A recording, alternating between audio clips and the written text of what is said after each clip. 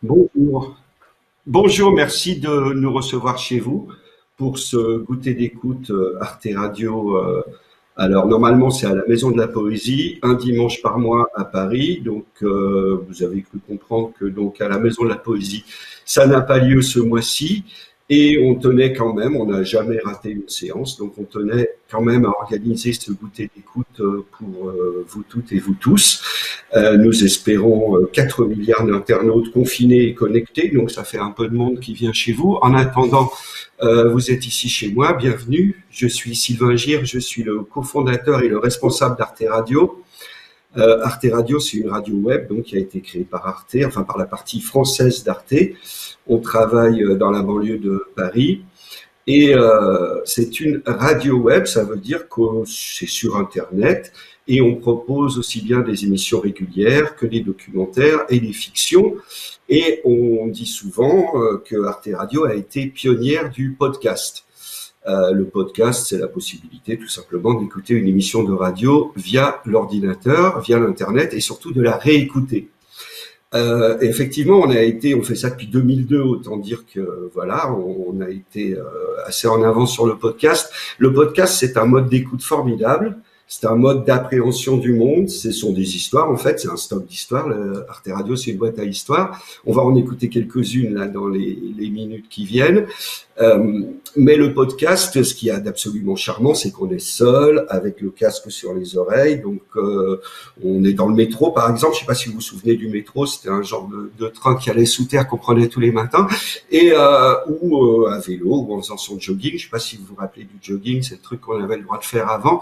Voilà. Et donc, on écoute des histoires. Et le fait d'être un peu seul dans son écoute, ça fait que forcément avec le podcast, on a un rapport un peu intime à la voix, aux histoires qu'on qu'on entend.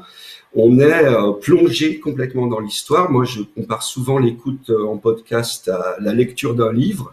On est seul, mais en même temps, on peut arrêter sa lecture, on peut y revenir. Et euh, c'est le miracle de la radio que beaucoup d'entre vous euh, redécouvrent ces jours-ci, c'est qu'en même temps, on se fait des images dans la tête. Voilà. Euh, donc ça, c'est le podcast, c'est formidable, mais ça contribue à nous séparer les uns des autres un peu plus. Et on se rend bien compte dans les semaines qu'on vit de, cette crise sanitaire que c'est dur d'être séparés et qu'on a besoin de moments, on a besoin d'être ensemble. On a besoin de se réunir, on a besoin de vivre des expériences collectives. Et c'est pour ça qu'en même temps qu'elle inventait plus ou moins le podcast, Arte Radio propose depuis toujours des séances d'écoute publiques parce que quand on écoute tous ensemble, on écoute différemment. Voilà, donc c'est ce qu'on vous propose, aux 4 milliards d'entre vous. Merci Jérémy. On est donc là euh, tous ensemble pendant ça va durer 8 heures, 9 heures jusqu'à ce que je, je, tombe de fatigue. Ça va être un marathon. Et donc, euh, comment ça va se passer? Bah, Très simplement, comme chaque séance d'écoute que j'anime donc euh, à Paris, en région, à l'étranger, je vais parler pendant 7h50 et puis ensuite, on va écouter des podcasts en entier ou des extraits et puis on sera en correspondance en direct avec un certain nombre de nos auteurs, les auteurs et autrices de ces podcasts, qui vont réagir, qui vont nous expliquer euh, leur travail. Donc, vous pouvez poser des questions, vous pouvez commenter en direct comme les gens le font. Vous connaissez le principe des commentaires, hein c'est les Martiens qui ont inventé le virus, tout ça. Bon, et puis vous pouvez aussi euh, poser des questions donc pendant la diffusion des podcasts. Et moi, j'y répondrai. Je suis alerté en permanence et je peux, euh, voilà, je pourrai relayer vos questions auprès de nos auteurs. Euh, vous avez remarqué que je parle beaucoup d'écoute parce qu'on nous pose souvent la question, mais le podcast, en fait, c'est quoi? Qu'est-ce que ça apporte de nouveau par rapport à la radio? Alors, c'est un sujet passionnant dont on va parler euh, donc pendant huit heures. Mais moi, personnellement, je viens de la radio au départ, et euh, bien que Arte Radio est né dans une chaîne de télévision, et ça m'intéresse pas tellement ces questions de est-ce que c'est de la radio, du podcast ou de l'audio. Ce qui m'intéresse, c'est la question de l'écoute, parce que l'écoute c'est une euh, particularité humaine, c'est ce qui nous constitue comme être euh, social. On se constitue par le langage, par les autres, par l'écoute des autres. Et, euh, et en même temps, l'écoute, elle est très intime, elle est très personnelle. On n'entend pas la même chose. Et on s'aperçoit que c'est un sens qui est souvent négligé. Et là, ces dernières semaines, je pense que vous l'avez remarqué, notre écoute est particulièrement active et stimulée et étrange. pourquoi? Ben Parce qu'on entend plus rien. En tout cas, la pollution sonore, de même que l'autre pollution, euh, a beaucoup diminué. Donc, on redécouvre cette chose assez magique le, silence des villes, le silence de la campagne. Il n'y a plus d'avions, il y a presque plus de voitures. Et, euh, et à 20 heures, par exemple, on entend les applaudissements. Donc, suivant où on habite, suivant comment est la réverbe, on entend des choses différentes. Euh, il y a un auteur d'Arte Radio qui est un professionnel de l'écoute, qui en a fait sa passion, sa raison de vivre, et qui est un personnage extraordinaire. Il vit au Mexique, il est français, mais il vit au Mexique. Il envoie beaucoup de ses créations sonores sur Arte Radio au Mexique. Je vous propose de le retrouver tout de suite pour un petit moment d'écoute avec lui. On va se retrouver avec Félix Blum, qui est à Veracruz, au Mexique, et on va écouter un peu qu'est-ce qui se passe à Veracruz.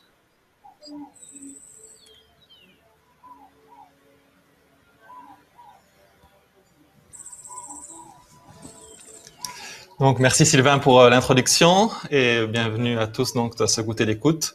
Euh, ben, comme en général je pouvais pas venir à la Maison de la Poésie, je suis content de pouvoir enfin participer en direct à un goûter d'écoute euh, depuis euh, le Mexique. Alors quand on a fait les tests il y a quelques minutes, on n'avait pas encore une musique au loin qu'on entend peut-être aussi chez vous, du village en face du fleuve qui est de l'autre côté. Mais à part ça, on a quelques oiseaux là ici qu'on peut entendre depuis la terrasse. Euh, des oiseaux qu'on appelle des papanes ici, qui sont des, en français ce serait cacique des Montezuma, qui est un oiseau noir avec une queue jaune et qui se balance en chantant.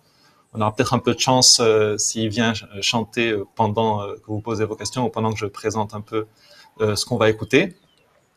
Et euh, ben, qu'ici, il n'y a pas vraiment de confinement. En tout cas, c'est, ça paraît encore très loin ici. C'est un petit village de l'État de Veracruz.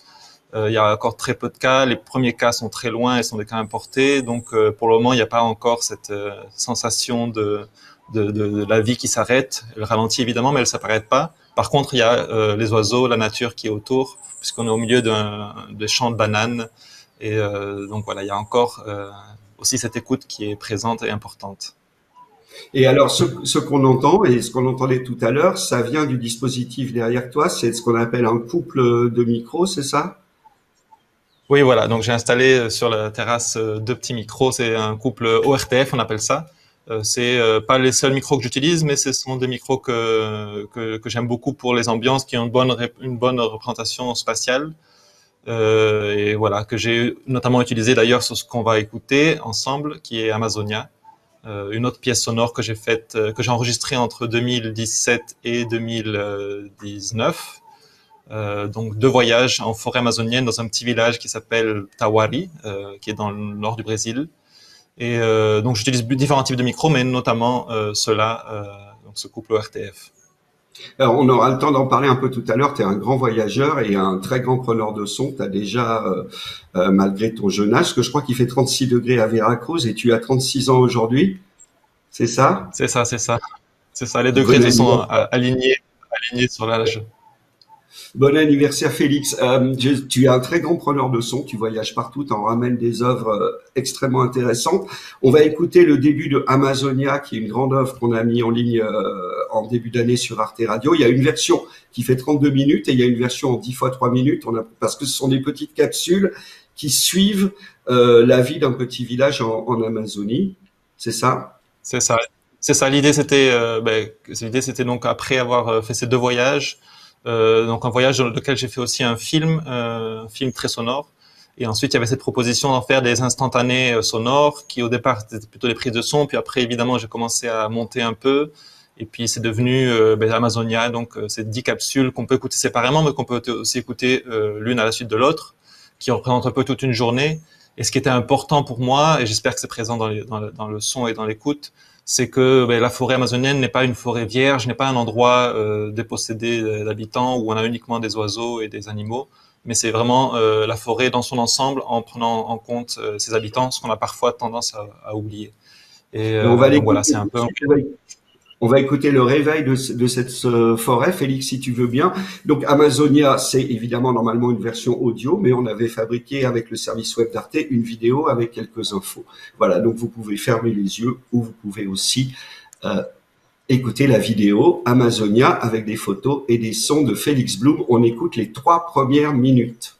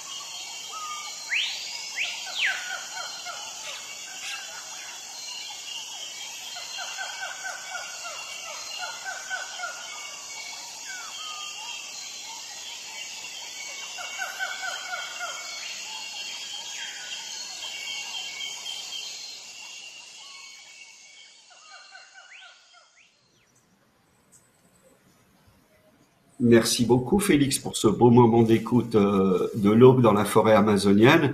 Juste préciser donc la vidéo complète de 32 minutes, elle est sur la chaîne YouTube d'Arte Radio, celle sur laquelle vous êtes peut-être en train de, nous regarder. Euh, elle est aussi évidemment sur le site d'Arte Radio. Euh, enfin, le son de 32 minutes est sur le site, de même que la version en 10 fois 3 minutes. ce qui me plaît beaucoup dans ton travail, Félix, tu as commencé à en parler tout à l'heure, c'est qu'effectivement, t'es pas le chantre de la nature pure et vierge avec les petits oiseaux et les singes hurleurs, il y a tout le temps de l'humain dans un plan. Et là, notamment, il y a ce dialogue entre l'homme et l'animal qui est peut-être caractéristique de la culture amazonienne. Comment tu le vois? En tout cas, dans ton ben, travail. quand, je... suis parti faire ce premier voyage donc en forêt amazonienne dans ce petit village, en fait que j'ai choisi un peu au hasard en regardant sur la carte en me disant je vais être un peu loin des grandes villes et pourquoi pas aller par là. Puis je me suis retrouvé dans ce petit village. Euh, qui avait en fait l'envie aussi d'accueillir un touriste. Donc j'étais le, premier touriste arrivé là-bas. Quand je suis arrivé là-bas, je me suis dit tiens, je vais faire vraiment euh, deux trois semaines d'enregistrement de nature, de, de justement de audio naturalisme, ce qu'on appelle donc de pure nature sans, sans les humains. Et puis en fait, euh, après quelques après quelques semaines, enfin quelques jours même, j'ai commencé à inclure en fait les humains là-dedans parce que quand je partais à écouter ou enregistrer, ben, j'étais pas seul, il y avait toujours quelqu'un du village qui m'accompagnait. Et ça m'a tout de suite frappé à quel, euh, à quel point tout le monde dans le village, que ce soit les enfants, les gens, enfin les adultes, les personnes âgées, tout le monde connaissait très très bien le nom de tous les animaux et savait aussi imiter leur chant.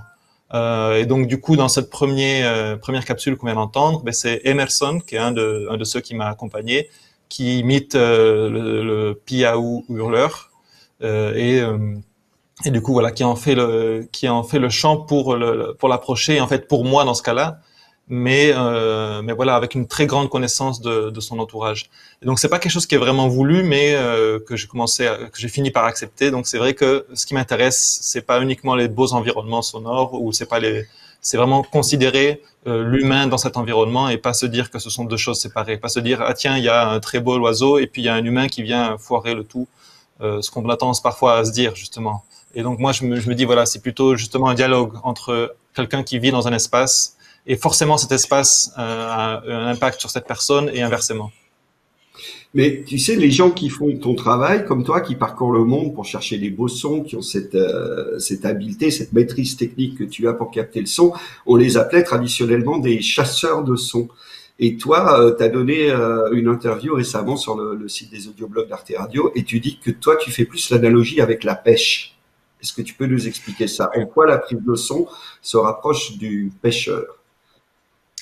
Bah alors après, évidemment, il y a plein de manières de. Donc le son, c'est une matière et finalement, je crois qu'elle est utilisée par plein de gens de manière différente et euh, de manière très intéressante. Mais c'est vrai que moi, la, le chasseur, l'idée de chasseur de son, j'aime pas trop parce que la chasse, il y a vraiment quelque chose où on vise, où on, on, on vise un animal, on vise quelque chose et on, et on tire en plus. Euh, euh, moi, j'aime beaucoup plus l'idée de la pêche parce que la, donc dans mon idée, en tout cas, c'est que le pêcheur ben, s'installe euh, près d'un endroit, près d'une rivière, euh, d'un lac. Il sait qu'il veut, euh, voudrait bien avoir ce, ce, poisson. Il sait que dans ce lac-là, il y a ce poisson ou ce poisson, donc il va préparer sa pêche avec un gros hameçon, avec une grosse canne à pêche. Mais il, il sait jamais vraiment ce qui va se passer et puis il peut aussi rien se passer. Et dans la prise de son, c'est un peu ça. On a beau se dire, ah tiens, je prépare les micros, ils sont derrière moi, mais en fait, on peut très bien tout d'un coup, il peut y avoir un camion qui passe au milieu des bananes. On se demande qu'est-ce qu'il fait là euh, un dimanche matin. Euh, mais pourtant, il est là et euh, peut-être qu'il y a quelqu'un qui va en descendre, qu'on va en commencer à parler et, qui, et que ça va donner quelque chose. Et puis, je vais me retrouver à enregistrer autre chose que j'avais pas du tout prévu. Et donc, c'est pour ça que j'aime bien cette idée de la pêche où on est là, on attend, on a ses micros, on peut attendre des heures. Parfois, il se passe quelque chose, parfois, il se passe rien. Et souvent, il se passe quelque chose qu'on n'a pas prévu. Et c'est ça qui est assez, en fait, plus que ce que je trouve intéressant et ce que je trouve beau dans la prise de son, c'est de, ben, c'est l'imprévu. D'accord. Donc, euh, et que tu captes grâce à notamment, tu parlais de couple RTF, je t'ai pas interrompu et on me demande euh, sur l'écran, qu'est-ce que, est-ce que tu peux préciser ce que, ce qu'est un couple RTF et comment tu as le droit d'en utiliser alors que l'ORTF n'existe plus ou pas encore? Oui. Alors un couple RTF, c'est un couple fait de deux micros. En fait, quand on a commencé à utiliser deux micros pour faire de la stéréo, en se disant on va essayer de limiter nos deux oreilles euh, pour justement avoir toute une image spatiale, il y a eu plein de plein de couples possibles, plein de propositions de différents types de micros. Et euh, ben, l'ORTF a proposé, elle, d'utiliser deux micros cardioïdes. Donc dans ce cas-là, c'est des SHOPS, euh, c'est CM4 pour être très précis. Et euh, donc deux micros, 17 cm d'espacement entre les deux micros et 110 degrés d'angulation entre les deux micros. Donc voilà, c'est ce que la RTF a proposé. Il y a d'autres personnes qui ont proposé d'autres choses. Et finalement, moi, c'est un bon compromis, je trouve, pour, ben, pour redonner une belle image spatiale d'un espace. Je te remercie beaucoup pour ce, ce beau moment d'écoute depuis euh, Veracruz. Je précise qu'on n'est pas chez toi. Toi, tu as un petit appartement à Mexico parce que ingénieur du son, tu es dans une résidence d'artiste. Par chance, tu as une résidence qui va correspondre à ton confinement dans une belle maison à, côté de Veracruz. Euh, ton travail qui se poursuit dans le monde entier, y compris, tu as fait beaucoup d'ateliers avec des personnes handicapées, avec des aveugles à Port-au-Prince, enfin beaucoup de choses avec des enfants dans les plus grands musées. Ton travail, on en trouve beaucoup euh, sur Arte Radio, mais aussi sur ton site. Euh, je vous conseille, ou comme je sais plus, mais Félix Bloom, comme ton nom, est vraiment euh, est vraiment passionnant. Il y a même des petites vidéos. Euh, je te remercie beaucoup, Félix, de nous avoir accordé ce moment. Bon anniversaire. Bon courage. merci. Bonne suite d'écoute. Merci Félix, à bientôt. On va revenir en France avec un, autre euh, podcast, quelque chose de complètement différent. Donc là, c'est du son de nature. C'est quelqu'un, Félix est un très très bon ingénieur du son. Il capte merveilleusement le réel. Mais il y a aussi d'autres façons de rendre compte des vies qu'on mène, du monde dans lequel on vit.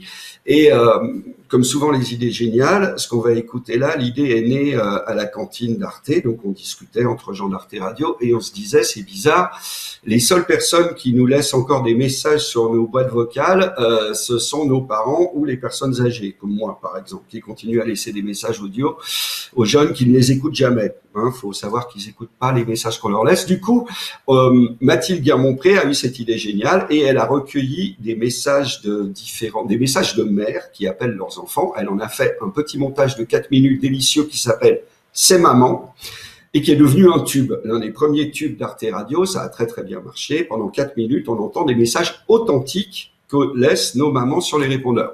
Comme on a fait un tube, ça a bien marché, évidemment, on s'est dit on va faire la suite, c'est papa. Et Mathilde a fait aussi C'est Noël, c'est ton enfant. Et là, je vous propose d'écouter un autre podcast de cette série, toujours très court, euh, puisque bah, je pense qu'il nous manque et ils doivent peut-être manquer à leurs enfants. C'est C'est Papy Mamie.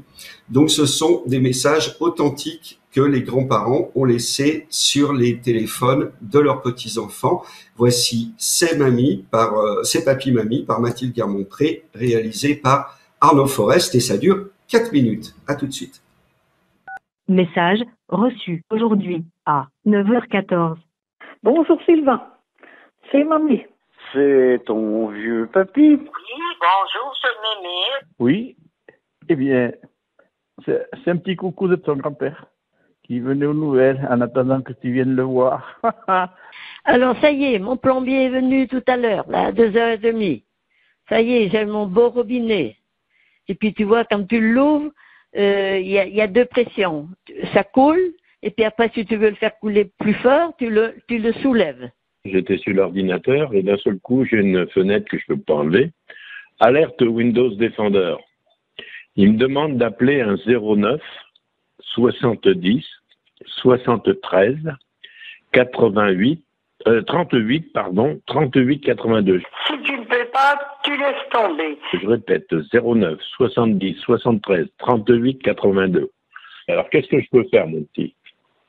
Parce qu'avec tout ce qui se passe sur les ordinateurs. Je voulais savoir qu'est-ce que qu'est-ce qu'ils prenaient pour le petit déjeuner les, euh, Lilo et puis euh, Anton?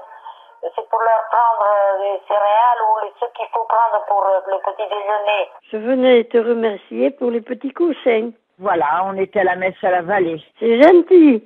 Et puis aussi, euh, tu ramènes le dessert parce que ma, ma tarte. Alors moi, ben, je descends voir ce qui, ce qui est en bas.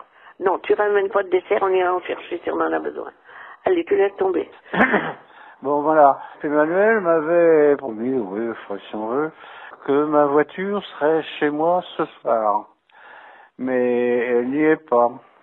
Pardon, excuse-moi, je suis enrhumé. Tu m'as foutu avec tous les cassés. Bon, c'est ira. Pour passer au message suivant, faites le 6.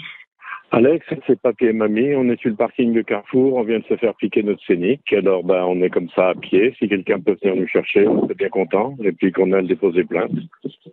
Merci.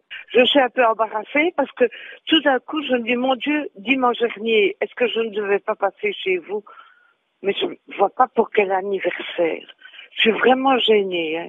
C'est mamie parce que j'ai besoin d'aide. Mon déambulateur est tombé dans mon jardin, puis, puis je pensais avoir quelqu'un ce matin, puis j'avais personne.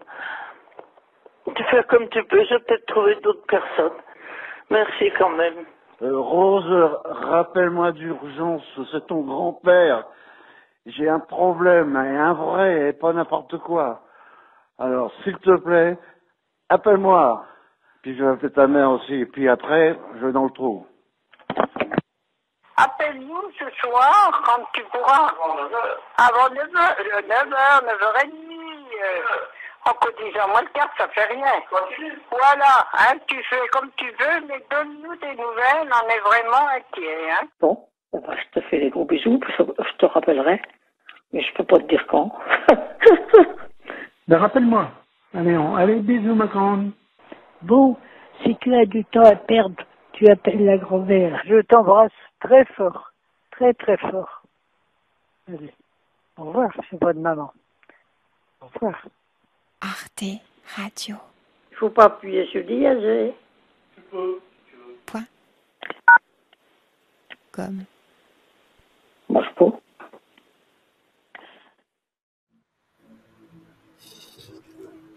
Écoute, Mathilde, Mathilde Garmont-Pré, merci beaucoup. C'est toujours un bonheur d'écouter ça, comme euh, toute cette série que tu fais depuis plusieurs années maintenant. Les messages de papa, de maman, des grands-parents. Euh, et en plus, je trouve, enfin, là où je dis que c'est vraiment du documentaire, bien qu'il n'y ait pas de prise de son avec euh, couple ORTF comme on a vu avec Félix, ça raconte quand même quelque chose de notre époque, du rapport qu'entretiennent les générations. Euh, Qu'est-ce que tu en penses? Qu'est-ce qui te frappe, toi, dans ce travail de collectage de, messages vocaux?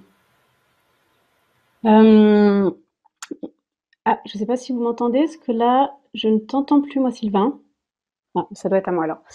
Euh, bah déjà, en fait, ce que je voudrais, c'est quand même remercier les nombreux contributeurs de, de tous ces podcasts qu'on a fait à partir des messages vocaux. Parce que je me suis amusée à, compter, en fait, tout ce qu'on avait récolté comme message pour réaliser ces sept podcasts hein, que tu as évoqués tout à l'heure. Euh, c'est maman, c'est papa, c'est papy-mamie qu'on vient d'écouter c'est Noël, c'est ton enfant, c'est ton anniversaire, et bah, tout ça, ça représente plus de 620 messages, euh, voilà, qui m'ont été adressés. Et pour euh, ce montage-là qu'on vient d'écouter, c'est Papy Mamie, bah, il y a eu euh, tout de même 32 contributeurs qui, qui ont participé et qui m'avaient donc euh, transmis 70 messages. Ce qui veut dire que pour toi, c'est essentiellement un énorme travail de montage, en fait. C'est le travail n'est pas à la prise de son, il est au montage. Oui, bah moi, tu- il est dans, dans la récolte, dans après le classement, dans et puis euh, puis voilà le dérochage, le montage. Oui, c'est un, un gros travail, euh, gros travail de montage. Mais je vais Euh, pas lâcher la question. Ce montage, il nous raconte quelque chose. Il nous dit quelque chose de notre époque. Et à ton avis, qu'est-ce qu'il nous dit? À moi, ce qui me touche, ce qui me frappe particulièrement là en réécoutant ces papy mamie, c'est c'est vraiment le rythme, le débit posé euh, de la parole des vieux, des grands-parents en fait, qui est vraiment très éloigné du débit très rapide en fait qu'on peut tous avoir un peu aujourd'hui. Euh, ce que j'aime, c'est qu'on y entend à la fois des messages très prosaïques, euh, que ce soit sur l'installation du nouveau robinet, qu'est-ce qu'on prend à manger pour les arrière-petits-enfants qui vont venir, le retour ou non de la voiture prêtée du grand-père au petit-enfant, mais aussi le, besoin d'aide, en fait. Voilà, que ce soit le problème informatique, on sent le grand-père euh, totalement dépassé, euh, le vol de la voiture, euh, mais aussi des choses voilà, un peu plus... un peu plus grave, telle la, chute en fait avec le déambulateur, mais aussi voilà l'important c'est la fragilité de la santé. Celle qui se plaint des cachets qu'elle prend, le rhume, la chute qu'on a déjà évoquée. On y entend aussi les troubles de la mémoire, à pu savoir si euh, on devait passer ou non, s'il y avait un anniversaire à fêter, euh, voilà. Puis on entend aussi beaucoup d'inquiétudes. euh, cette vie aussi qui, rétrécit un petit peu, il faut appeler avant 9h, bon 9h30, peut-être 10h moins le quart, la solitude, mais surtout, surtout bah, beaucoup d'amour en fait, beaucoup d'amour pour leurs petits-enfants qu'ils aimeraient, qu'ils aimeraient certainement voir plus souvent et entendre plus souvent parce que c'est vrai que c'était très drôle à la fin de ces mamans. On avait pendant euh, peut-être 10 ou 15 secondes des messages de maman qui disaient rappelle-moi, tu m'appelles jamais et qui finissaient par supplier juste un petit texto s'il te plaît, au moins un texto. Et c'est vrai que c'est il y a un message moral dans tout ton travail qui est qu'il faut appeler plus souvent nos parents et grands-parents. Euh, ça m'amène à, à, ma dernière question justement. Là, tu es en confinement à Paris euh, et tu continuer à travailler, comme beaucoup de, gens, euh, de collaborateurs d'Arte Radio, et tu cherches, tu, tu, travailles sur les messages vocaux du confinement. Oui. Donc, on, comme certains des auditeurs ont peut-être déjà pu le voir sur le Facebook euh, d'Arte Radio, on recherche, alors à la base, on recherchait plutôt des messages vocaux en rapport avec le confinement, ça j'en ai reçu pas mal. Et puis, bah voilà, l'écoute de tous ces messages qui sont qui sont très intéressants, hein, qui, qui racontent plein de choses, mais j'ai on a eu j'ai eu envie d'ouvrir aussi euh, cette recherche de messages aux non confinés, aux, aux, soignants, aux gens qui travaillent, enfin voilà, tous les gens qui sont sur le terrain. Et, euh, ben voilà, j'ai un peu de mal à, à récolter, euh, à ce qu'on me transmette des messages de, de, gens qui, eux, ne sont pas confinés et sont sur le terrain. Donc euh, voilà, avis aux auditeurs de, de ce goûter d'écoute. Si vous avez des, des, messages euh, à me transmettre, que ce soit des messages donc bah, de, de soignants, euh, de la vie de couple H24 euh, avec ses, ses, plaisirs et ses, ses complications, euh, le partage des tâches ménagères, les messages d'amoureux séparés par le confinement, les messages qui évoquent les problèmes capillaires, d'épilation, enfin je ne sais quoi. Voilà, n'hésitez pas à, à transmettre, à me transmettre ces messages pour te les envoyer parce qu'il y a beaucoup de questions euh, sur sur le live. Euh, il y a un article sur le site d'Arte Radio qui explique comment on récupère ces messages et qui donne aussi euh, ton le mail auquel on peut t'envoyer tout simplement les messages. Mais sur le site d'Arte Radio, il y a un long article qui explique comment déjà vous pouvez extraire les messages vocaux correctement de votre téléphone pour les envoyer en bonne qualité à Mathilde. Voilà. Et puis les messages WhatsApp, euh, les messages WhatsApp, c'est aussi ce qui est le plus simple peut-être à, transférer, puisqu'on peut très facilement un message audio, un, message vocal sur WhatsApp, le, transférer euh, soit euh, directement sur WhatsApp à, à, mon numéro de téléphone qui est indiqué donc dans la procédure, soit par mail. Ok, bah merci beaucoup Mathilde, vraiment merci beaucoup pour tout ce travail que tu fais. Merci de continuer à bosser dans des moments difficiles. Merci d'avoir été là. Euh, bon confinement. Merci à toi. Reste courageux. À bientôt. À bientôt. Ça, c'est un travail très particulier, ce travail que fait Mathilde. Par ailleurs, elle a fait aussi de, très beaux documentaires euh, pour Arte Radio, notamment L'autre mère, qui est un documentaire, je vous conseille, où elle explique euh, qu'est-ce que ça fait dans un couple d'être l'autre mère, c'est-à-dire de ne pas être la mère biologique euh, de l'enfant et, le fait qu'elle doit rentrer dans une démarche d'adoption pour adopter l'enfant qu'elle a eu avec sa compagne. Un documentaire absolument bouleversant. Voilà euh, et très drôle par ailleurs parce que Mathilde est très drôle. Euh, maintenant, on va passer à quelque chose de beaucoup plus classique en apparence. C'est vraiment un reportage, un reportage radio pourrait-on dire, enfin plutôt un documentaire avec un vrai point de vue d'auteur. Ce qui est intéressant, c'est que c'est un documentaire de Sonia Leglen et c'est le seul documentaire qu'elle a fait pour Arte Radio. Euh, Arte Radio travaille avec des auteurs qui sont euh, parfois professionnels. La plupart, on les a trouvés tout jeunes, euh, comme des poussins, si vous voulez. Ils ont grandi avec nous et ils sont maintenant professionnels et rémunérés euh, pour leur travail. Hein. Documentariste radio, c'est des, des, fortunes, hein, vous imaginez pas, bien sûr. Ils ont tous fait construire des maisons dans le Luberon. Et euh, mais il y a des gens aussi qui sont pas du tout documentaristes radio, qui ont des bonnes idées, qui ont des bonnes choses à proposer. Et c'était le cas de Sonia Leglen qui, euh, qui avait une histoire, enfin qui connaissait quelqu'un qui avait une histoire incroyable.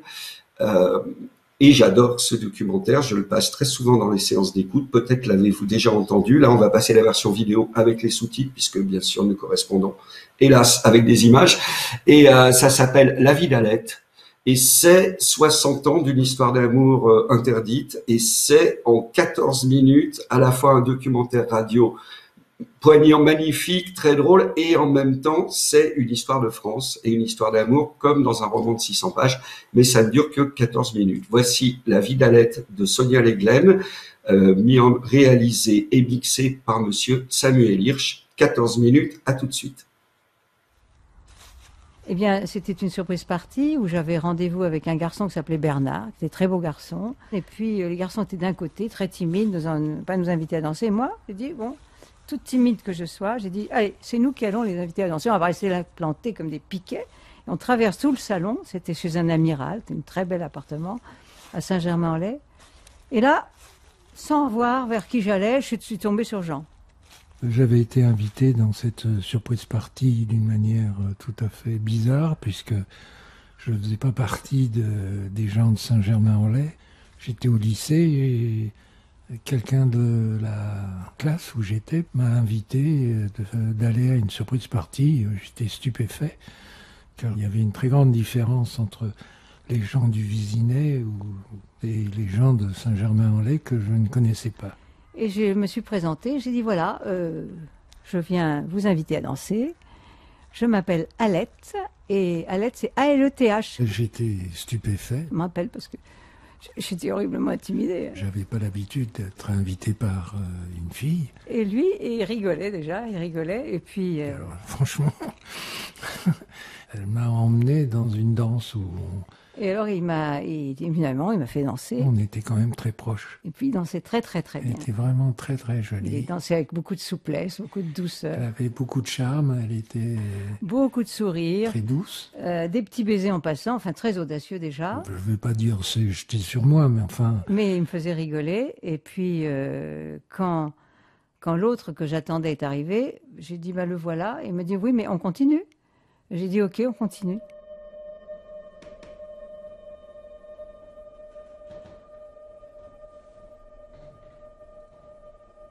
Il m'a raccompagné le soir avec son camarade. évidemment, dans la voiture, il a voulu déjà m'attaquer. J'ai senti que lui, effectivement, je fondais comme, euh, comme du sucre. Je, comme, vraiment, je fondais. Et elle avait l'air d'apprécier particulièrement euh, mes avances et j'étais très étonné encore. Généralement, on ne commençait pas euh, dès le premier soir. Il, il, avait une douceur dans les gestes, il avait les mots, il avait le charme pas spécialement la beauté, mais le charme, un charme inouï. La petite Alette qui était très timide, très réservée, avec une très bonne éducation, euh, elle avait jeté sa vertu euh, très rapidement euh, aux orties. Et là, j'ai dit, oh là là, ce garçon-là, il est très dangereux pour moi. Très dangereux. Il faut plus que je le voie. Parce que ça va m'entraîner trop loin, je me sentais carrément en danger. Donc ça a été très, très agréable dès le premier soir.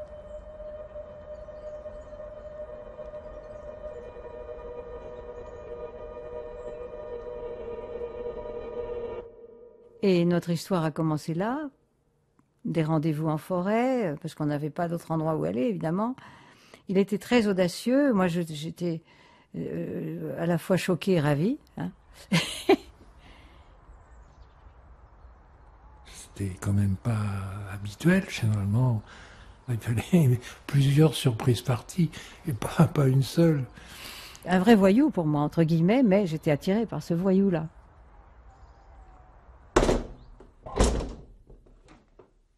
Elle faisait partie des gens de Saint-Germain-en-Laye qui politiquement étaient à droite. À cette époque-là, je faisais partie euh, du parti euh, radical et radical socialiste de Mendès France. Jean était juif. Mon père était antisémite. Alors un jour, je lui ai dit, mais papa, mais qu'est-ce que... Je vous voyais mes parents, c'était de tradition depuis toujours. Qu'est-ce que vous avez contre les juifs? Et il m'a répondu, oh, je n'ai rien contre les juifs.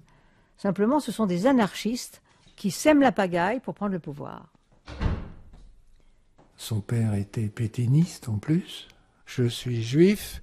Donc c'est vrai que pour moi, le maréchal Pétain, c'est celui qui a signé tous les décrets de la politique antisémite de Vichy et que ça me semblait euh, inimaginable qu'en 1956, on puisse encore de nouveau euh, penser que Pétain avait sauvé la France. Quoi. Ça, c'était, inacceptable. Ça.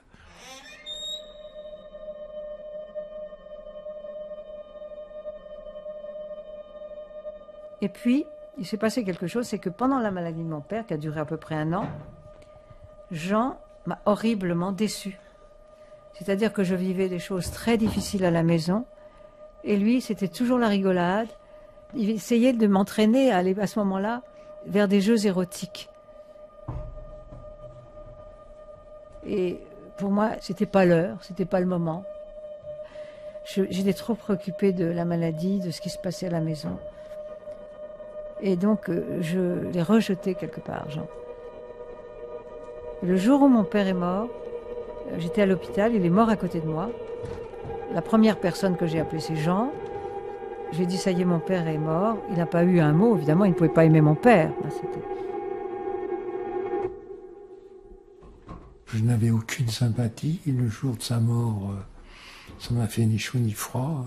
Alors, elle était très choquée. J'ai considéré que c'était une bonne chose. Nous n'étions plus du tout sur la même longueur d'onde. Elle, elle considérait qu'elle avait sa propre culture, alors que je lui disais, bah, écoute, je ne sais pas de quoi tu parles. Je pense que tu n'as aucune culture. C'était donc un langage de, un langage de sourd. Euh, chaque fois que je le rencontrais, j'avais des mots de tête considérables, donc c'était tout l'inverse de cette, euh, ce, bienfait que je ressentais à nos les premières années, qui était merveilleux. Je ne pouvais pas, j'étais, je finissais par être jaloux. Euh. Comme quoi l'amour pouvait tourner en cauchemar. C'était, c'était devenu un cauchemar. C'est pour ça qu'un jour, j'ai, pris toutes ces lettres que je gardais précieusement. J'ai, j'ai fait un grand feu dans le jardin et j'ai écrit une lettre de rupture.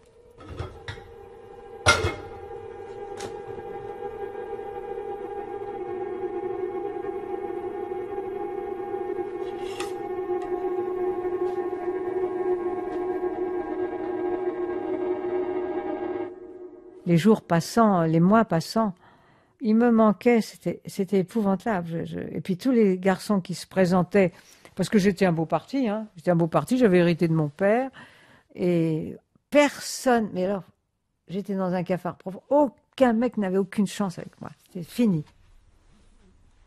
Plaisir d'amour ne dure qu'un moment. Chagrin d'amour dure toute la vie.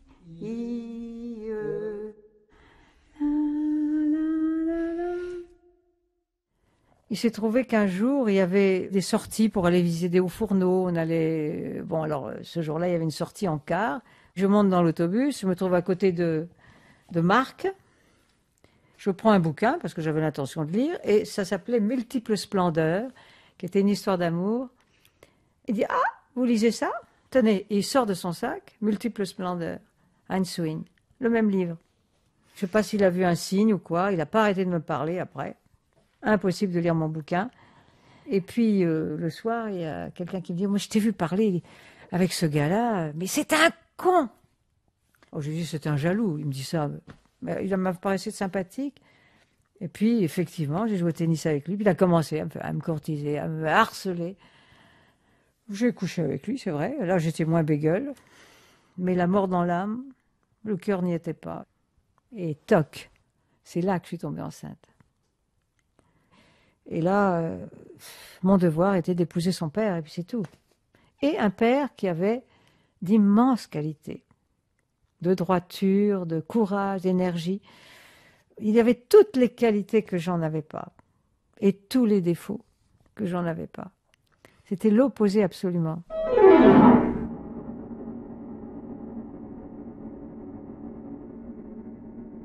Ensuite, euh, ben mon Dieu euh, est arrivé mai 68. Euh, mai 68, qu'est-ce qui s'est passé? Un jour, au lieu d'aller au bureau, j'étais à la Sorbonne. Et j'ai vu de dos une fille qui me semblait euh, agréable. Donc c'était l'époque où on pouvait prendre la parole. Alors donc je me suis levé pour prendre la parole parce que pour la voir il fallait qu'elle se retourne. Alors la seule façon c'était de prendre la parole pour euh, je ne sais quoi.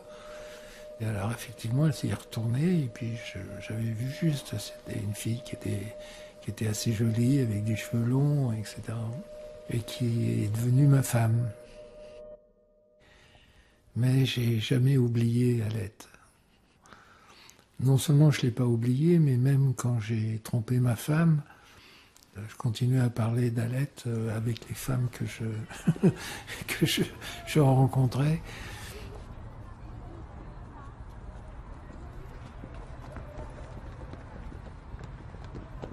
Un jour, j'étais revenue sur Paris et ma mère était avec moi. On était au bois de Boulogne, on se promenait. Et elle me dit, euh, tu sais pas qui m'a téléphoné? Elle me dit, c'est Jean. Ah je- la joie, le bonheur que j'ai eu. C'est pas possible, Jean. Mais il vient de se, je savais qu'il s'était marié. Alors j'avais voulu envoyer un de mes copains à son mariage pour prendre des photos. J'avais dit, est-ce qu'il se marie religieusement? Non. Oh, bah alors il n'est pas marié, bon, ça va. Il avait voulu me téléphoner avant de partir en voyage de noces, juste au moment de son mariage et voulait me revoir. Quand je l'ai appelé, c'était le silence entre nous, un silence, un silence amoureux. Hein. Rien, tout était revenu en. c'était.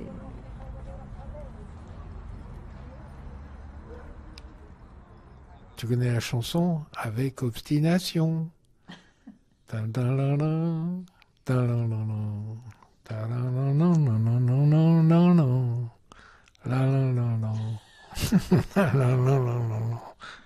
Avec obstination. Bon, donc, euh, donc euh, je l'ai revu. Mais on se revoyait difficilement parce que moi j'étais à Bordeaux. Il prenait l'avion de temps en temps. C'était jamais moi, toujours lui. Je tenais moins à mes idées politiques. Le temps était, avait passé, j'ai perdu certaines illusions, donc euh, j'étais moins, moins tranchant. Je savais que ça allait durer une journée, qu'il allait repartir. Donc, euh, voilà, me posait plus de problème. Deux J'étais bien quand je le voyais. comme euh, deux oiseaux C'était l'amour fou. sur euh, la même branche. le bonheur. Deux comme deux amoureux au bal du dimanche. La la la la la la la la la la la la la. Il faut dire une chose, c'est que euh, ma relation avec Alette euh, a été plutôt tumultueuse. Non pas lorsqu'on se rencontrait, mais après. C'est le lundi où Alette m'écrivait tous ses remords, Je me disais, oh, il y a mes enfants. parce que Alette avait beaucoup, beaucoup de remords. Jamais je, je, je divorcerai pas pour mes enfants. Alors évidemment, alors là, il y aurait plein d'autres anecdotes euh, sur l'attitude de mon mari qui était fou, de, qui a découvert le poteau rose un jour.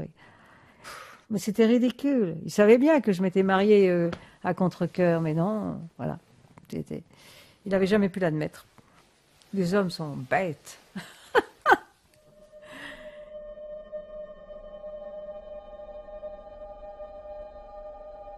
J'ai. Combien j'ai J'ai 77 ans. Alors aujourd'hui, ben, je suis une grand-mère, une maman de deux enfants, une grand-mère de quatre petits-enfants. Oui, on continue à se voir. euh, Voilà, mais enfin, on se voit encore. Vous êtes amoureux d'elle? Je pense que oui, oui, toujours.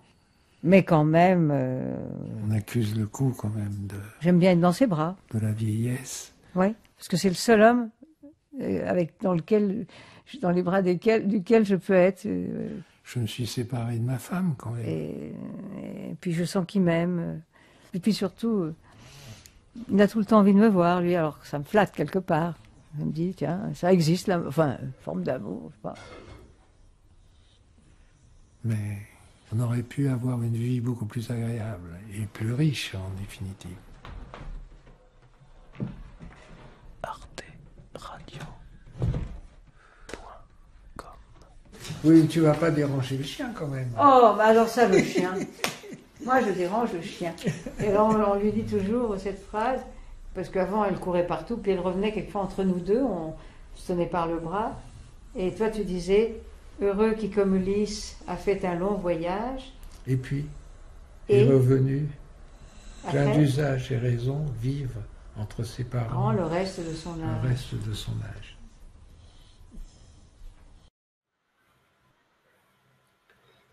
J'adore ce, ce son, ce podcast. À chaque fois, j'avoue, euh, oui, merci pour cette histoire. En effet, moi, ça, ça m'émeut. Comme je disais en intro, j'ai l'impression que c'est un, un, grand roman français. C'est une histoire de France où une une fille de péténiste antisémite peut tomber amoureuse d'un juif de gauche et en même temps, il y a euh, Mathilde parlait de, de, de, du ton de la voix des personnes âgées et il y a le plaisir de, cette voix d'Alette, de cette diction et à la fois qui montre que cette cette dame qui est très âgée quand elle témoigne au micro de Sonia Leglen, elle est à la fois pudique et en même temps elle dit les choses et on ne s'attend pas à ce que les, personnes âgées parlent comme ça. Alors pourtant tout, tout est normal.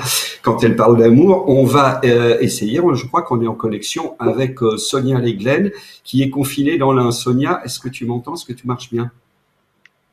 Oui, alors je t'entends très bien. Par contre, euh, je ne sais pas si tu me vois parce qu'on a eu des petits soucis techniques, mais normalement il y a normalement il doit y avoir l'image. Oui, oui, ça va. Tu me vois. Si, si, très bien. Bon, bah super. Ok. Bah, en tout cas, merci de merci de me recevoir et euh, ça fait toujours plaisir de de le réécouter. En tout cas, ce son. Et c'est vrai ce que tu disais. Je, je trouve qu'Alette, elle euh, et Jean, ils parlent très très bien et on sent vraiment l'émotion dans dans leur voix quoi quand ils quand ils racontent cette histoire parce que c'est une histoire universelle. Euh, maintenant, euh, on dirait je l'ai rencontré à une teuf ou euh, à mon époque on aurait dit je l'ai rencontré à une boum. Et là, la première phrase, mm. c'était une surprise partie. On est, je crois, dans les années 50, au début des années 60. comment tu as rencontré Alette, ce personnage? Alors en fait, Alette, c'était quand je suis arrivée à Paris, c'est elle qui m'a loué une, une chambre dans un appartement. Et, euh, et, et, donc elle, elle, elle, était assez impliquée, donc elle venait souvent. Et un jour, elle est venue avec un homme qui, euh, bah, qui n'était pas son mari. Et, euh, et, et, ensuite, euh, on est allé à Ikea ensemble faire des achats pour l'appartement. Et, et, là, du coup, je lui demande, mais qui, qui est-ce? Parce qu'ils avaient l'air vraiment très proches. On sentait qu'il y avait une, une, complicité entre eux, qui se connaissaient depuis longtemps. Et c'est là qu'elle m'a raconté toute cette histoire qui est, qui est assez dingue, quoi. Donc, euh, donc tout de suite, j'ai eu envie vraiment de l'enregistrer et, d'en faire quelque chose. Et alors là où je trouve que c'est vraiment un documentaire superbe et qui montre bien les possibilités du sonore et pourquoi euh, toi et moi, parce que je sais que par ailleurs tu travailles à la radio, tu travailles à Radio France. Euh, Radio France, je sais pas si vous voyez, c'est par rapport à Arte Radio, c'est un peu le même genre, euh, en plus petit. Et donc, euh, là où je trouve que la radio est formidable, c'est que tout passe par l'art du montage. C'est-à-dire qu'en fait, tu les as interviewés, ils racontent la même histoire séparément. Ils ont été interviewés séparément, en tout cas pendant la plupart. Et c'est le tressage, et notamment au début, dans les baisers, les voix se chevauchent, se rapprochent. En fait, le montage exprime lui-même le, le ballet des corps et, et, et des existences. Euh, donc, euh, tu as procédé comme ça. Et puis, ton montage les réunit à la fin où tout d'un coup, on passe à la stéréo et là, on se rend compte qu'ils sont ensemble. Mais ma question, c'est est-ce que dans la vraie vie, est-ce qu'ils ont pu être ensemble après les veuvages, les divorces et tout? Est-ce qu'ils ont habité ensemble? Ou est-ce que le, tu as l'air de dire que c'était même dans la vieillesse, ils n'étaient pas vraiment ensemble? Alors non, en fait, ils ont euh, ils ont été très peu ensemble. À l'époque où j'ai fait ce documentaire, c'était en 2013. Euh, Alette, elle vivait toujours euh, officiellement avec son mari à Bordeaux, mais alors elle trouvait des excuses pour venir à Paris et elle disait qu'elle était hébergée chez son bon ami. Et en fait, c'était chez Jean, donc elle restait de temps en temps, mais c'était pas euh, une vie commune. Et, euh, et par contre, ben, récemment, ils ont eu l'occasion de vivre ensemble parce que Jean a fait des grands travaux chez lui et du coup, Alette, elle est allée, elle est allée vivre avec lui pendant cette période. Mais, mais du coup, c'est vraiment sur les derniers mois là qu'ils ont pu vivre ensemble. Parce que toi, tu es resté en contact avec ces personnages, tu es encore en contact avec eux. Oui, oui, oui. Alors, on est toujours resté un petit peu en contact. Bon, on se voit pas énormément non plus, mais euh, mais on se voit quand même un petit peu. Et euh, et alors là, malheureusement, il y a eu une, enfin une mauvaise nouvelle récemment. En fait, euh, Jean est décédé le mois dernier. en fait Enfin, heureusement, j'avais eu des nouvelles d'Alette euh, un petit peu avant, en, janvier. Euh, elle me demandait justement des conseils pour aménager l'appartement, euh, pour refaire des choses dans la chambre comme on avait fait nous à l'époque. Et donc, on s'était dit, ah bah, ce serait l'occasion de se revoir avec Jean, d'aller manger ensemble. Et donc, on s'était revus tous les trois. Et, et c'est vrai que Jean était un peu, il était en fauteuil roulant et il allait un peu moins bien, mais par contre, il avait gardé vraiment toute toute son énergie, tout son humour. Et, euh, et là, malheureusement, euh, il y a un mois, j'ai eu un texto d'Alette qui m'annonçait euh, son, son décès assez brutal. Il a eu un infarctus. Et, en plus, elle était très déçue parce que malheureusement, ce soir-là, elle n'était pas, elle était pas avec lui, parce qu'elle avait dû aller à l'hôpital passer des examens. Et donc, elle était vraiment très effondrée, quoi. Tu vois, on se raconte toujours des histoires à l'écoute, mais moi, je, je pensais vraiment qu'ils avaient, qu'ils avaient finalement vécu ensemble. Donc, c'est 60 ans d'amour clandestine, en fait. Parce qu'on voit bien 60 ans d'amour en pointillé. En pointillé, d'accord. tu le dirais comme ça. Parce qu'elle a son côté très vieille France, hein, très digne. Il n'est pas question qu'elle divorce, il n'est pas question que voilà. Donc, euh, c'est un, destin de femme à la fois, euh, à la fois, je trouve un peu prise dans les conventions et en même temps qui y échappe complètement puisqu'elle a maintenu cette histoire d'amour pendant 60 ans. Oui, c'est ça. Et en plus, ce qui est dingue, c'est qu'elle euh, refuse de divorcer, soi-disant, pour ses enfants. Mais, euh, mais en même temps, ses enfants connaissent Jean et sont tous au courant de cette histoire et, et le fréquentent depuis des années, quoi. Donc, c'est, ouais, c'est, vraiment spécial, quoi. Mm. Écoute Sonia, je te remercie beaucoup. Merci beaucoup euh, pour ce documentaire. Franchement, que je chéris. Ça fait des années, mais j'adore à chaque fois le réécouter. Merci pour tout ton travail. Et, euh, bah, merci à toi. Prends soin de toi. À bientôt. Merci beaucoup. Merci à toi, Sylvain. À bientôt. J'ai remarqué que chaque fois que la caméra revient vers moi, je me gratte la tête. C'est la première fois de ma vie que je fais de la télévision. J'ai essayé d'échapper à ça toute ma vie, donc ne tenez pas rigueur de mon incompétence euh, à l'image. Euh, donc ce très beau documentaire La vie d'Alette, comme tout ce qu'on écoute là, hein, vous pourrez le retrouver en ligne sur Arte Radio, sauf le dernier documentaire qu'on écoutera tout à l'heure qui est un inédit, parce que voilà, on vous soigne. Maintenant, on va passer à quelque chose qui est euh, devenu un classique, vraiment un classique du documentaire. Donc là, on n'est pas sur deux prises de son mono comme sur La vie d'Alette, on est sur une prise de son assez sophistiquée, on est vraiment sur une grande enquête. C'est un documentaire qui dure, euh, je crois, 40 minutes. On va en écouter 9, simplement 9 minutes, les 9 premières. Euh, pourquoi? Il se passe plein de choses, vous allez voir dans ces 9 minutes. C'est une manière de raconter les histoires qui est très différente de ce que fait le podcast maintenant, où il y a tout le temps un présentateur qui parle, qui vous accompagne. Non, là, vous êtes livré à vous-même, vous êtes uniquement plongé dans le son et dans les voix. C'est une enquête qui s'est étalée sur plusieurs mois, qui a mené Média Audic dans le département de la Meuse, donc euh, Verdun, tout ça dans l'est de la France. Et la Meuse, c'est une zone rurale assez pauvre et il se trouve que cette zone a un gros problème de trafic et de consommation d'héroïne. Ce qu'on ignore, ça passe sous les radars des médias, mais en passant, en y consacrant euh, plusieurs semaines d'enquête, Mehdi Aoudik a ramené comme ça. Alors vous allez voir, il tisse les voix, il les pose. C'est vraiment un paysage sonore. Il y a un spectre sonore d'une très grande richesse, aussi bien dans les voix que dans les sons. Je vais pas trop déflorer. Je vous propose qu'on écoute les juste les neuf premières minutes de Poudreuse dans la Meuse et ensuite on sera en duplex avec Mehdi, donc qui pourra répondre à vos questions et en tout cas aux miennes. Poudreuse dans la Meuse a gagné le prix Europa du meilleur documentaire et le prix Longueur d'onde du meilleur documentaire. Donc là, on est vraiment sur du sur très euh, sur ce que permet le langage radiophonique à son meilleur. C'est une enquête de Média Audix. La musique originale et le mixage sont de Samuel Hirsch. Neuf minutes, Poudreuse dans la Meuse, les neuf premières minutes, c'est parti.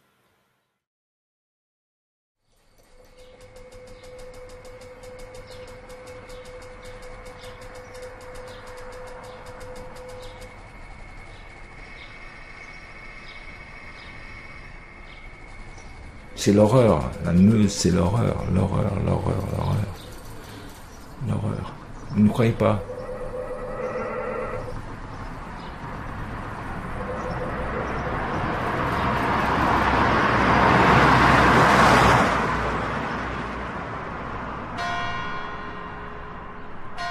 C'est d'une d'une noirceur, d'une épaisseur, d'une glauquerie, d'une ça n'a pas d'âme. C'est mort. C'est le pire endroit au monde. J'espère pas y rester très longtemps.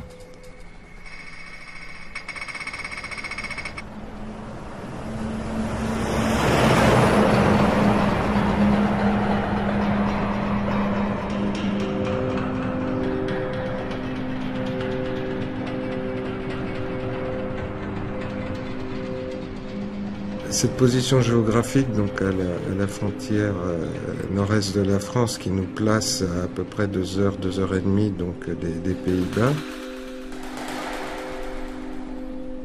Eh bien, le principal produit euh, consommé, euh, ben, c'est l'héroïne.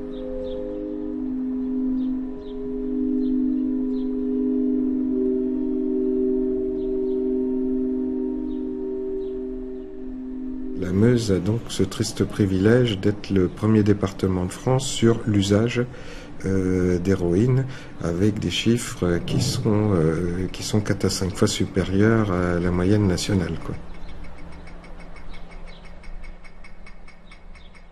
La plupart de nos consommateurs, l'initialisation a été faite à l'occasion de soirées où il y avait des consommations de, dans une première partie de soirée de produits type ecstasy, euh, tout- toutes sortes d'excitants, et où euh, celui qui initie à ça explique aux consommateurs que bah, pour redescendre, il faut prendre un petit peu d'héroïne.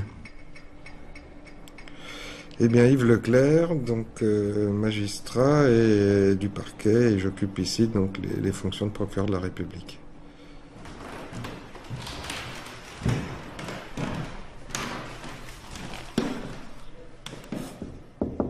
La grande difficulté, c'est que la population et globalement les parents Oui, rebonjour madame.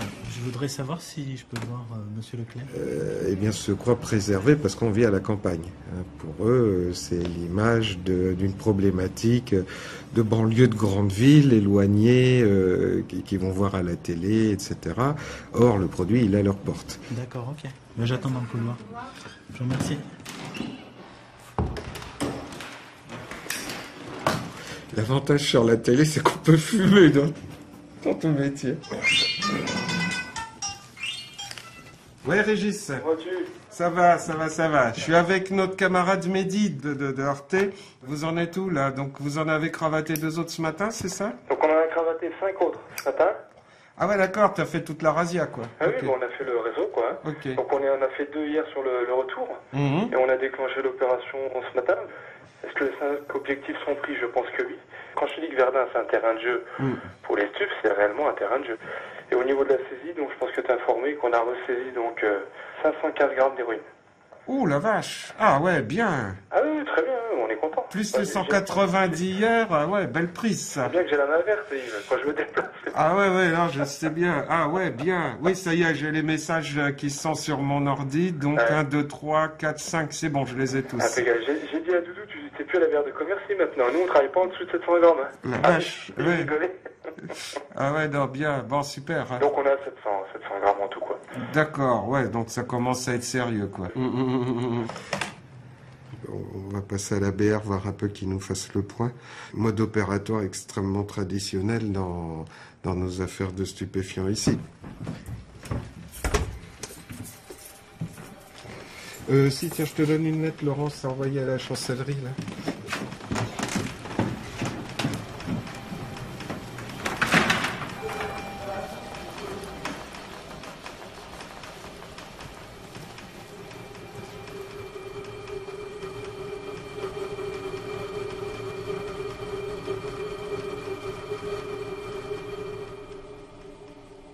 Nous, euh, psychologues, éducateurs, tout ça, on leur donne pas de quelque chose. Le médecin, il donne une ordonnance. Donc, il, il loupe jamais les rendez-vous parce qu'ils repartent avec une ordonnance. Donc, il y a beaucoup de gens qui prennent des rendez-vous et qui viennent pas. Gaëlle? Oui. Voilà. ça.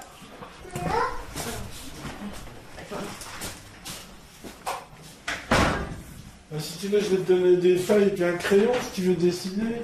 Non, tu veux dessiner Tu veux dessiner? Pendant qu'on parle Hein? Tu veux dessiner? Quand il y a quelqu'un, je préfère que ça soit Oui. quelqu'un qui le garde, mais là, je suis tout seul, alors je peux pas le faire garder. Ouais, puis là, on n'a pas le choix de l'emmener, personne me le garder, donc... euh, Voilà.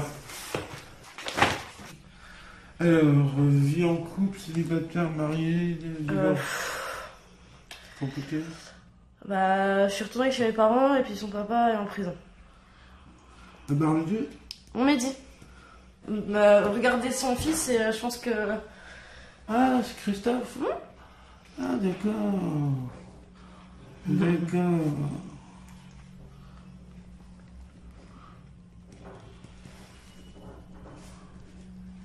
Et j'y vais direct, hein, tu veux quoi?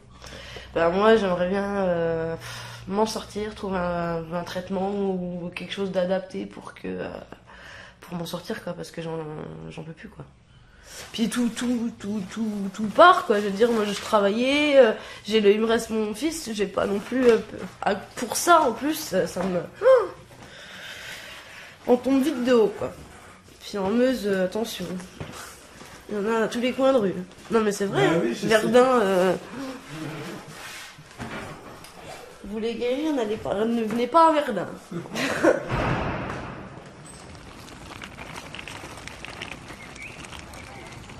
Joshua, viens là Ah ouais, t'as vu la fontaine? Non, c'est pas la fontaine à maman. Nous, dans les campagnes, ouais, c'était euh, c'était super présent, quoi. Héroïne, ecstasy. euh. Quand j'étais plus jeune, euh, j'ai eu plusieurs petits copains qui consommaient et je ne consommais pas. Donc, il y en avait en permanence à côté de moi, je l'ai jamais consommé. Et du jour au lendemain, euh, je sais pas, euh, j'étais anti-drogue, mais euh, on voulait même pas de moi dans les soirées là. Et puis maintenant, euh, voilà quoi. non, après on ira. Maman est trop grande. Regarde. Bah après ouais c'est clair qu'en essayant on se dit ah bah ouais t'as un, un sentiment de bien-être ça c'est clair mais euh, pour moi euh, j'ai pas été malade tout de suite tout de suite donc euh, puis c'était occasionnel donc euh, ça allait non on se sent bien quoi on a on, a l'impression de de flotter quoi c'est on a on et puis quand on n'est pas bien ou dans sa tête ou quoi on pense plus à rien quoi donc euh, ça permet euh, voilà de de plus penser à rien quoi. Doucement, hein. Eh non, tu vas pas dans l'eau, hein. Vas-y. Voilà. Non, non, c'est tout. Non, fini. Non.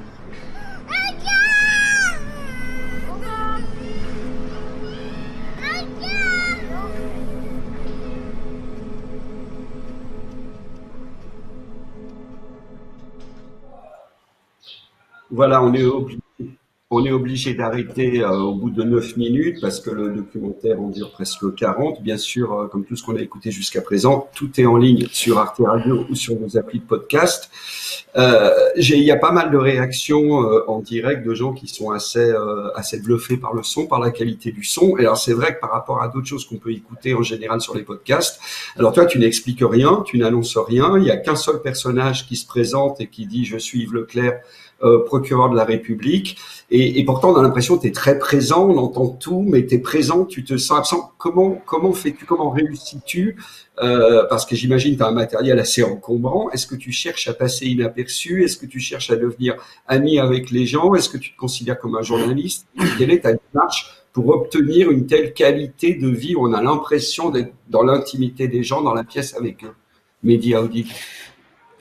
Euh, bonjour. Euh, ben, en fait, euh, non, ce que ce que j'essaye de faire, c'est vraiment de faire partie du plan d'écoute, quoi. C'est-à-dire que euh, les gens, c'est pas du tout qu'ils m'oublient, mais c'est plutôt qu'ils sachent que je suis là. Et concrètement, euh, je suis effectivement avec mon matériel, ma ma perche et mon micro stéréo, hein, et je suis assez proche en fait des gens. Donc, je fais partie de la pièce, quoi. Je dirais que euh, pour les gens, à partir du moment où ils ont accepté que j'enregistre, euh, euh, ils me voient, ils peuvent pas m'éviter et je fais pas en sorte de me cacher. Mais par contre, j'ai besoin de vraiment rentrer dans, dans l'univers de leur voix et du coup, bah, j'ai besoin d'être proche. quoi. Et du coup, comment tu, tu qualifies ce travail? Parce que ce qui est très étrange, c'est que euh, au départ, on pourrait se dire tiens, c'est des documentaires, des enquêtes comme on en voit à la télévision, parce qu'on a les flics, la justice qui nous explique de pas faire. Et, et après, progressivement, tu vas être dans l'intimité des toxicomanes et tu vas être avec cette, euh, notamment avec cette mère de famille. Euh, et pourtant, tu ne les présentes pas, tu n'expliques rien. C'est à l'auditeur de comprendre lui-même où on est, ce qui se passe. Et c'est, c'est quoi C'est une technique un peu impressionniste. Tu poses des images comme ça et tu laisses les gens se débrouiller. euh. Comment tu vois cette, la, la narration? en, en fait, j'essaye toujours de me référer un petit peu à moi, comment cette histoire, elle m'a, elle, m'est parvenue en fait. Et par exemple, pour Poudreuse dans la Meuse, la première fois que j'y suis allé, euh, qui était un, peu une mission de repérage, même si j'ai enregistré, je suis tombé sur une jeune, une jeune femme qui était avec une poussette et un enfant de 2-3 ans dans la poussette, et puis euh, un autre un peu plus grand, et qui m'a demandé 2 euros, mais c'était une jeune femme qui devait avoir une trentaine d'années et qui avait l'air, euh, qui faisait pas faisait pas SDF quoi, qui, était et, donc j'ai commencé à parler avec elle et en fait elle m'a déjà parlé de ce problème de l'héroïne avant même que j'arrive chez le procureur quoi. Et euh, donc voilà, ce, ce, personnage, je m'en souviens, elle n'est pas dans le documentaire radio, mais je m'en souviens comme étant euh, quelque chose où, bah, à partir du moment où on arrive quelque part, il y a des choses qui, qui nous parviennent, euh, comme ça, sans se présenter, sans, je sais pas son prénom, et pourtant on a échangé pendant un moment. Donc en fait, euh, j'essaye de retranscrire ce que moi euh, j'ai ressenti quand, quand, quand j'ai découvert euh, cette histoire, quoi, que j'ai plongé dans, dans cet univers. Et tu as remarqué que j'ai coupé, euh, comme je le fais parfois dans les séances d'écoute, parce que à 9 minutes, et euh, tu sais pourquoi je coupe euh, à cet endroit-là, euh, c'est très particulier. Donc on a la, ce, cette personne qu'on a entendue dans le cadre d'un truc qui doit être une mission locale d'aide, psy ou médicale. On la retrouve dehors dans un square avec des jeux avec son enfant, Joshua. Mhm. Et, euh, et donc la fin de la séquence, c'est cet enfant qui dit encore et cette mère qui lui répond non. Alors comment on obtient une scène pareille et qu'est-ce qu'elle veut dire? Bah, en fait, on obtient une scène pareille euh, parce que euh, je suis dans des contraintes qui sont assez importantes. C'est-à-dire qu'au début, en fait, ma première entrée, c'est le procureur. Donc, euh, c'est lui qui me donne l'entrée aux services sociaux, aux consultations avec la médecin addictologue et ainsi de suite. Mais ensuite, moi, j'ai quand même envie d'avoir un contact direct, sans l'intermédiaire des institutions, avec les usagers et les usagères. Et en fait, en fait, elle, je la rencontre juste avant la, la scène qu'il y a juste avant. Je la rencontre à ce moment-là. Et quand je lui demande si peux la revoir en dehors de, l'entretien avec l'éducateur. Elle me dit oui et je lui dis quand et elle me dit euh, maintenant et elle est avec son fils et elle va au parc. Et euh, en fait, bon, mon expérience m'avait prouvé que quand je donnais rendez-vous euh, le lendemain ou le surlendemain, ils venaient pas parce qu'ils avaient d'autres choses à faire.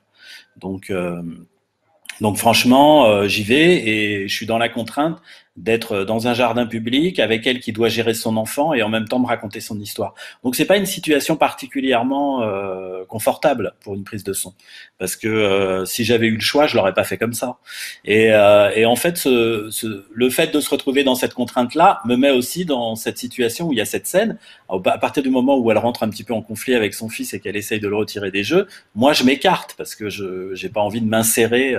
Et en même temps, je sens qu'à ce moment-là, au son, il se passe quelque chose. Donc je me dis pas que c'est inutile. Enfin, si, c'est inutile pour l'enquête, mais en tous les cas, c'est utile pour créer un paysage.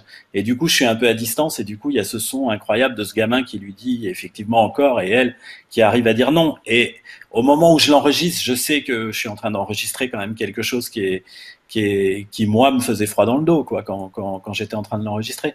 Mais en fait, c'est de la contrainte que ça naît quoi. C'est c'est de la contrainte et du dispositif, je dirais. C'est les deux ensemble. Mais c'est un peu le, le, miracle du sonore et de, et de, la captation documentaire, parce que si tu faisais un reportage journalistique, tu n'aurais jamais gardé cet échange, comme tu dis, il a rien à voir. On a l'impression, bon, c'est une maman qui euh, qui essaye de raisonner son fils. Simplement, dans tout le contexte global de ces 40 minutes, on va parler de toxicomanie, d'addiction, de gens qui sentent qu'ils sont piégés par la drogue et qui n'arrivent pas à s'en sortir. On a ce moment de poésie de quelques secondes incroyable où l'enfant en veut plus et elle lui dit non. non en fait, ce qu'elle arrive, elle arrive à dire non à son fils et elle n'arrive pas à dire non à, son, besoin, à son addiction. Oui, oui, tout à fait. Mais bah, par exemple, c'est un peu comme la voix du début qui décrit, euh, qui décrit la Meuse, l'horreur, euh, l'angoisse, tout ça, le glauque de la Meuse. Et ça, c'est un personnage que j'ai rencontré dans le cabinet de, la médecin addictologue et j'ai gardé que ça. J'ai une heure et demie. Euh, c'était un personnage qui était assez incohérent en fait dans, dans, dans, son débit de parole et dans sa narration. Il était assez incohérent et très déprimé. Et en fait, euh, au moment où j'enregistre cette parole-là, je sais que tout le reste est inutile, mais je sais que celle-ci c'est la parole du début, quoi. je, je le sens au moment où je l'enregistre parce que à chaque fois j'essayais. Alors c'est pareil, moi j'avais j'avais quand même envie de faire ressentir ce que ce que je ressentais quand j'allais en Meuse, qui était quand même quelque chose qui était de l'ordre d'une je sais pas comment dire, mais d'une région qui, qui a, enfin d'ailleurs c'est aussi tous les gens hein, qui me qui me disaient ça, mais d'une région qui a qui a du mal avec euh, à trouver une identité régionale puisque c'est trop proche de Paris, euh, c'est trop loin de l'Alsace et de la Lorraine. Enfin voilà, c'est c'est une région qui est qui est qui c'est même pas sinistré industriellement quoi. Ça a même pas euh, la noblesse que peut avoir la région du Grand Est avec les hauts fourneaux et tout ça. C'est vraiment une région vaguement agricole quoi.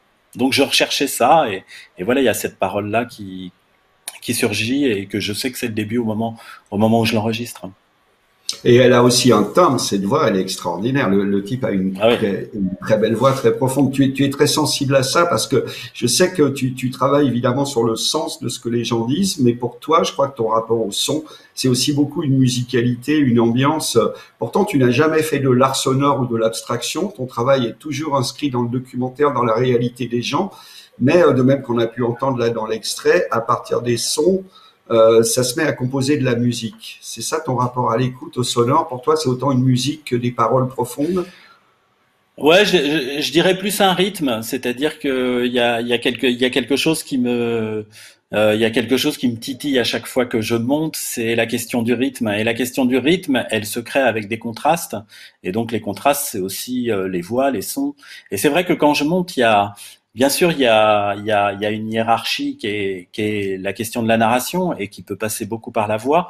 Mais en tous les cas, euh, ce qui va beaucoup jouer, c'est les couleurs que je vais mettre euh, les unes derrière les autres aussi. Et parfois, j'ai du mal à me détacher de ces couleurs-là, de la couleur d'une voix ou et, et de m'accrocher au sens. Et des fois, je fais des contresens ou je fais des erreurs de sens et de narration liées juste au fait que je veux cette voix après celle-ci.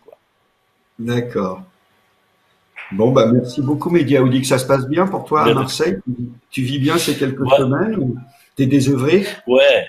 Non, euh, je suis euh, non, ça va, ça, va. Je suis pas, je suis pas trop désœuvré. Il y a plein. Je me demande comment, euh, comment, comment je vais devoir revenir à la vie réelle après, parce que je suis pas sûr euh, d'en- avoir très envie. voilà. Mais, mais sinon, euh, enfin, c'est un, un sentiment assez paradoxal entre euh, entre le fait que on aimerait bien quand même euh, être libre de ses mouvements et en même temps, euh, on n'a pas envie de recommencer comme avant. hein, franchement. T'en as rien envie de recommencer comme avant. Mais je crois que ces, ces, mo- ces sensations-là, on les éprouve tous, mais par contre, on peut les éprouver à l'intérieur de la même journée. C'est-à-dire, moi, je parle de, la- de l'abattement à une forme d'exaltation, à de la culpabilité. ouais. on, a, on a tout ça condensé parfois en quelques minutes. Ok, merci beaucoup, Média Audig. Euh, bravo Bah, merci à vous. travail. Il y a des gens aussi Merci. qui ont parlé de, de la, euh, qui ont parlé d'illustration, euh, qui est, je crois, de Zaven Najar. C'est à chaque fois pour nos podcasts, on fait appel à des illustrateurs et illustratrices indépendants, euh, qui sont des gens qui sont confinés en règle générale tout le temps chez eux. Donc voilà. Et alors, oh là là, il y a des questions très techniques. Alors, il y a des gens qui Ouais. demandent, Guy, de parler de, de ta méthode documentaire. Ouais, Donc, encore une fois, sur les, les audioblogs, qui est le site, la petite sœur d'Arte Radio, sur le site arteradio.com, il y a un onglet audioblog. Et là, il y a une rubrique qui s'appelle Les ingénieux du son, où il y a des grands entretiens avec des gens qu'on a entendus, avec Mathilde Guermont-Pré, avec Félix Blum, avec Média Audig. Donc, c'est vraiment des entretiens sur la longueur où tu expliques ta méthode de travail. Et alors là, il y a une question tellement technique, euh, heureusement, elle a disparu. Est-ce que tu Non, on peut, non, mais on. On va Oui, oui, je peux y répondre. euh, ouais. Non, mais oui, en fait, j'utilise un couple XY. voilà, c'est très rapide. Voilà. Merci. Et ça, c'était un point fondamental. On va, euh, pourquoi on n'a pas diffusé au-delà de 9 minutes? Oui, c'est une bonne question. Ça dure 35 ou 39 minutes et le, euh, notre temps est court. On va écouter un documentaire plus long juste maintenant. Vous pouvez écouter tout ce qui reste sur euh, le site d'Arte Radio, sur la chaîne YouTube, sur SoundCloud et sur les applis de podcast. Média Audig, merci, Merci. beaucoup. Encore bravo pour ton Merci travail. Sylvain. Merci d'être là. Et merci, au revoir. Au revoir. Je vous ai promis un documentaire plus long. C'est vrai que là, j'ai mis un extrait, ce qu'on fait pas d'habitude dans les séances d'écoute. J'ai envie que cette, euh, ce goûter d'écoute un peu particulier soit l'occasion de donner à un maximum de gens une idée des possibilités de l'écriture sonore, de ce qu'on peut faire. On fait plein de choses très différentes sur Arte Radio. On fait aussi bien des émissions régulières, des podcasts simples comme ceux auxquels euh, on peut être habitué, où il y a juste des gens qui parlent sur un plateau. Mais euh, mais en général, on se complique plutôt la vie, et notamment dans nos documentaires ou nos fictions, bah, tout simplement, comme tout ce qu'il y a de bien dans le monde, c'est une question de temps on y consacre énormément de temps. La chance d'être une radio web, parce qu'on n'a pas d'obligation de produire. Donc, on peut, euh, Poudreuse dans la Meuse, c'est un travail qui s'est étalé sur euh, plusieurs mois et vous pouvez l'écouter en intégralité. Euh, mais comme je suis très content qu'on soit là tous ensemble et que vous êtes désormais 4 milliards à suivre ce live en direct, merci beaucoup, euh, Donc, je, je vous propose d'écouter du coup en intégralité un inédit donc ça, c'est un son inédit, il n'est pas encore sur le site, il va l'être par contre d'ici 15 euh, jours. Euh, il s'agit d'une série documentaire. Il y a quelques années, on a fait une série documentaire de Pascal Pascariello qui s'appelle Les Braqueurs. Pascal Pascariello et Sarah Monimar, la réalisatrice, ont rencontré trois très grands braqueurs qui nous ont raconté leur vie et bien sûr leur peine de prison, parce qu'on a choisi des gens qui avaient payé leur dette à la société et qui n'avaient pas de sang sur les mains. Et c'est une série qui a eu un énorme succès que vous pouvez retrouver en intégralité, notamment sur YouTube avec les sous-titres. Euh, et puis du coup, quand euh, un certain Eric Robin, que je ne connaissais pas du tout, est venu vers moi il y a quelques mois et il m'a dit, moi je connais aussi un braqueur, un vieux braqueur, un vieux voyou, un vrai voyou à l'ancienne. Donc ça s'appelle Le Tonton Flingueur, c'est une série documentaire en quatre épisodes de 20 minutes de Eric Robin, c'est inédit. Euh, la musique originale est de Arnaud Forest avec une guitare de Clément Simounet et la réalisation et le mixage sont de Arnaud Forest. Alors, ce tonton flingueur, qui est-il? C'est Jean-Pierre Taliaferri, alias Brutus, alias Tarzan. Il a fait beaucoup de musculation.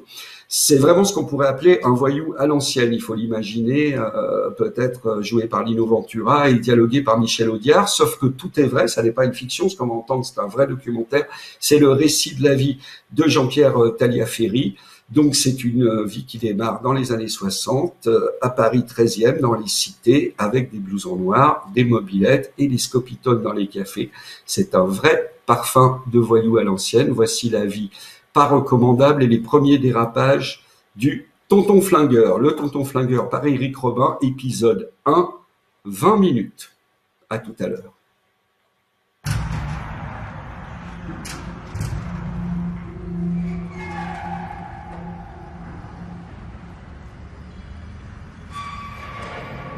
Bon braqueur, c'est il fait bien son boulot, toi. Et puis il passe inaperçu, tranquille, pépère, toi. Puis après, bon, il fait sa petite boîte de nuit, il va manger avec ses, amis, tout. La, vie de braqueur, c'est la vie de guerrier. Hein. Tu vas avec ta tribu, euh, allez hop, tu ramènes un bison, euh, et, ben voilà, c'est comme ça. Hein. Il y a une part pour chacun, puis voilà, c'est ça. Mais sans faire de mal, tu vois, sans... Voilà.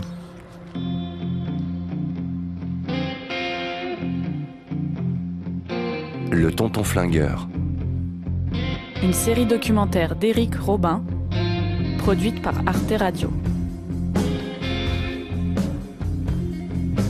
Épisode 1 Premier dérapage.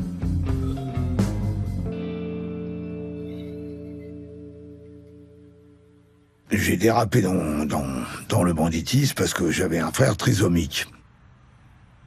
J'avais à peu près 12 euh, ans et demi, 13 ans. J'étais déjà bien formé pour mon âge, j'adorais le sport, tout ça. Je l'emmenais avec lui euh, l'après-midi sortir un peu, il était content. Et puis on s'est trouvé devant une vitrine de charcutier et dans la vitrine, il y avait une tête de porc, c'est qui était sur un plateau qui était qui était tranché, voilà. Et mon frère regardait la tête du cochon, puis ça le faisait rigoler. Alors il rigolait, il disait ouais cochon, cochon. Tout. Là le charcutier il est sorti, euh, il s'est mis en colère, il a dit casse-toi de là avec ton monstre. Il me tire le bras, alors je l'ai poussé, j'ai dit c'est bon. Donc je suis rentré euh, après euh, chez mes parents. Et puis le soir, euh, comme on était euh, avec euh, mes amis, quoi, voilà, on était une bande de copains.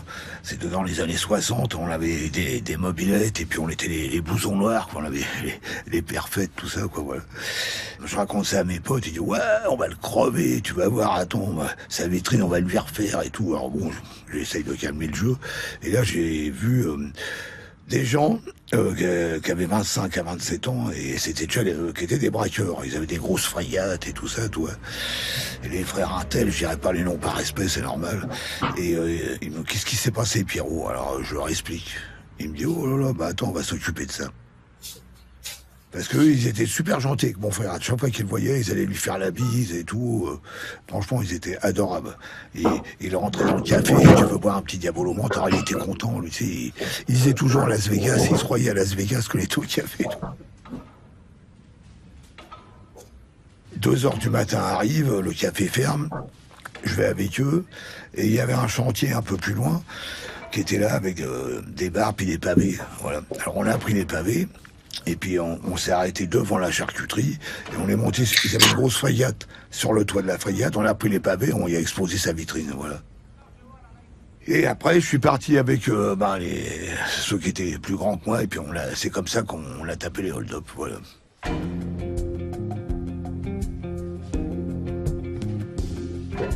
Je m'appelle euh, Jean-Pierre euh, Angelo Tagliaferri. Je suis pas né de la dernière couvée, voilà. J'ai une famille euh, maison que du côté du père euh, de ma mère euh, était franc-maçon, architecte, ils étaient très gentils. Mon père, alors lui, il travaillait dans le bâtiment, euh, il avait plusieurs camions avec ses hommes et puis il, il bâtissait euh, des immeubles, des maisons, tout ça, et des maçons, voilà. À l'époque, c'était facile. On, on rentrait dans les postes, c'était une, porte battante, on faisait le tour, pff, on repartait. euh, La banque, on allait même au coffre, on repartait avec les gros sacs et tout. Voilà. Alors donc, on l'avait même, euh, ça nous a rigolé parce que on avait même un surnom, on s'appelait les gros sacs du sac parce que euh, ils étaient lourds à porter des fois sur l'épaule et puis voilà. Et on pensait aux sacs de banque. Et puis après, on allait s'éclater en boîte et tout ça. Et puis j'ai acheté plein de cadeaux pour mon frangin, quoi.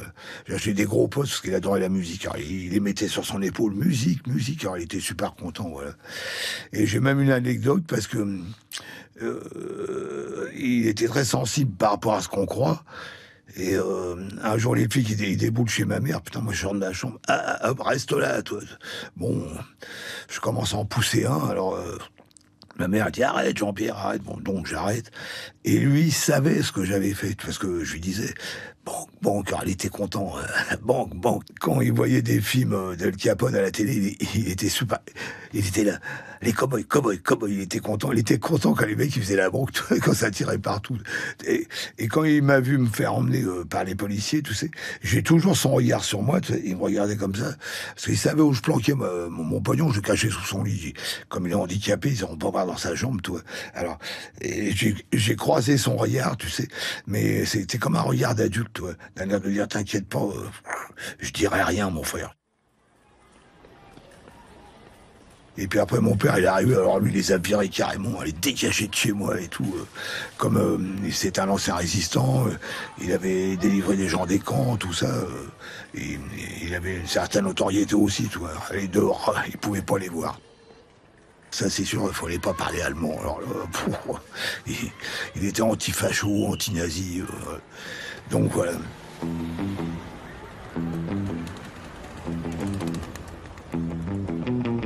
Qu'on était dans des petites cités. On avait tous un blouson noir. euh, on était une bande, euh, on était à peu près 80. Moi j'avais une bébé Peugeot, après j'ai eu une Juliette à, à 5 vitesses au poignet. On est, on toujours dans un café qui était euh, Place Pâté. Et on garait nos mobilettes sur la place et après on allait au café. Alors on jouait déjà à cet âge-là, on avait 13 ans et demi, 14 ans. on est des, des gens assez balèzes dans la bande.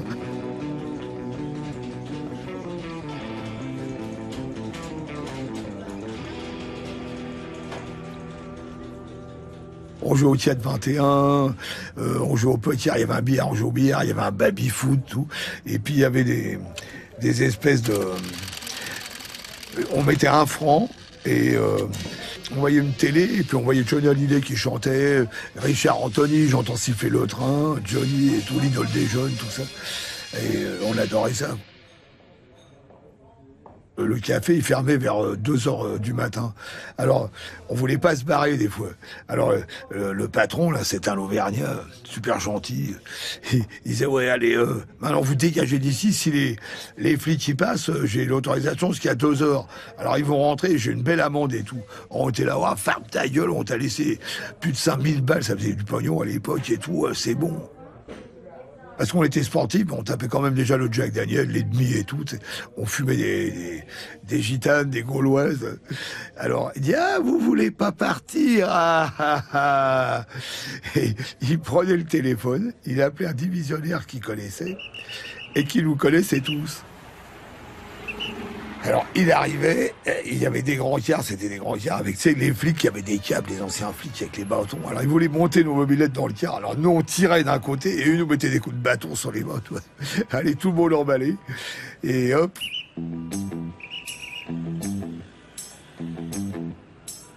Quand on arrivait au commissariat, les cages n'étaient pas assez grands. On disait, bon, vous restez dans le car, vous irez à la SNCF.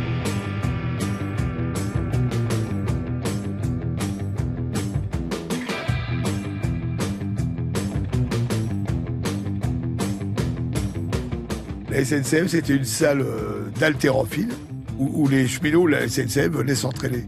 Hop, ils nous amenaient là. Il était 2h du matin, 2h30. Il nous aidait saper tous en slip et il nous faisait faire l'altéro jusqu'à 9h, 10h, 11h du matin. Et après, vous rentrez chez vous. On sera bien, on rentrait chez nous. On avait le compte. Hein. On n'en demandait pas plus, c'est dormir et puis foutre la merde. Voilà.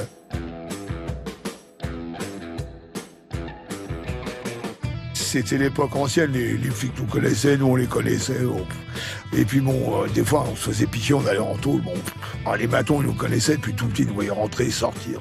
Encore vous, euh, ils nous disaient, ça va vous reposer le foie parce que on était dur hein, quand même. On était très sportifs hein, par rapport à ce croit. Euh, on s'entraînait au judo, là, on est 5 diamants. Et le club s'appelait l'éléphant blanc, toujours dans le 13e. Après, on ressortait, bon, on retournait en boîte de nuit. Euh, on fêtait la sortie, on voyait les mêmes poulets qui étaient là au bar qui nous avaient serré. Ah, ça y est, vous êtes libre, oui, oui. Bah, J'espère que ça, va vous, ça vous a servi de leçon. Ouais, ouais, ouais, ok. Ouais, on se foutait un peu de leur. Alors ils disaient, qu'est-ce que tu vas faire Bah non, tu travailles. Ouais, ouais. Alors nous, on répondait, on tient une boutique. Ah bon, vous allez ouvrir une boutique?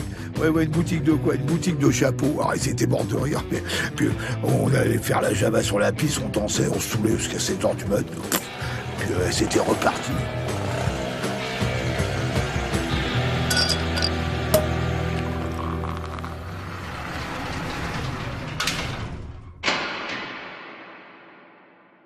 Je me suis marié à 15 ans après. Voilà, parce que euh, ma meuf, elle avait un bébé. Mais on s'aimait d'amour quand même. Bon, voilà. Je vais voir ma belle-mère, donc, j'arrive. Euh, et j'avais une bonne bouteille de vin pour le beau-père aussi. Bonjour monsieur, mes respects. Bonjour madame, mes respects, mes hommages, la bise, tout. Bon, bah asseyez-vous. Alors ma femme était à côté de moi. Alors, elle était oh, qu'elles sont belles ces roses et tout. Oh là il a du savoir vivre et tout. Bon, alors je lui dis, ouais, quel bon vent vous amène. Euh, ma fille me parle de vous depuis un an, euh, vous sortez ensemble. Alors je lui dis, bah oui, bah, le bon vent euh, qui nous amène, c'est que euh, je viens demander la main de votre fille parce qu'on va se marier.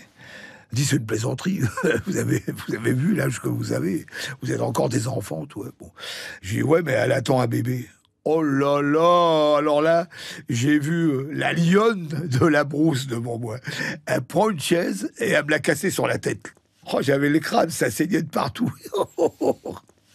Sortez de chez moi, espèce de porc, il a engendré ma fille et tout. Oh là. Oh, elle m'a sorti un coup de pompe dans le dos et tout. Bon, j'étais me soigner, j'ai me faire euh, recoudre des points de suture là, à la salpêtrière. Qu'est-ce qui vous amène Bonjour monsieur? Ben ouais, j'ai dit à ma belle-mère qu'on allait se marier. Bien ouais. il était mort il l'a tout oublié. Allez, je te fais de la couture là-dedans, dans le crâne, et puis voilà. Je raconte ça à ma mère, elle fait Oh là là, dis jamais ça à ton père, mais tu te rends compte, un enfant sur les bras à ton âge et tout, tu vas être obligé de travailler. Ouais, je t'inquiète pas, je vais aller travailler, maman, tu penses. ma mère, elle me croyait comme.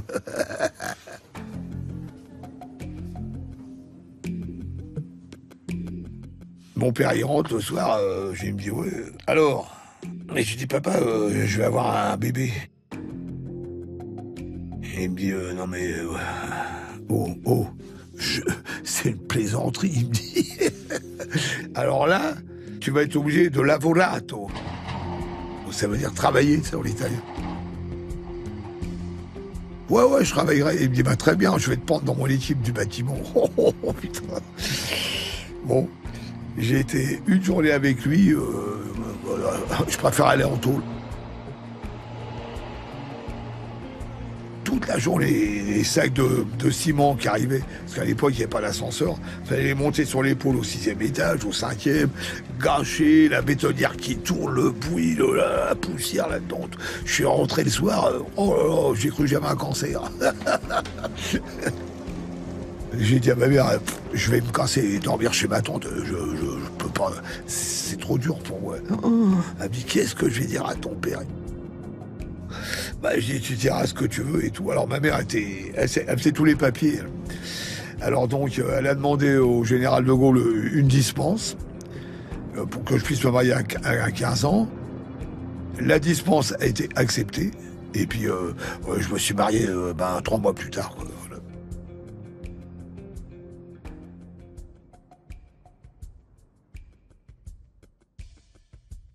Je suis devenu braqueur, ben, j'avais déjà commencé un peu avec les, les frères Intel, là, par rapport à la période du charcutier, là, voilà.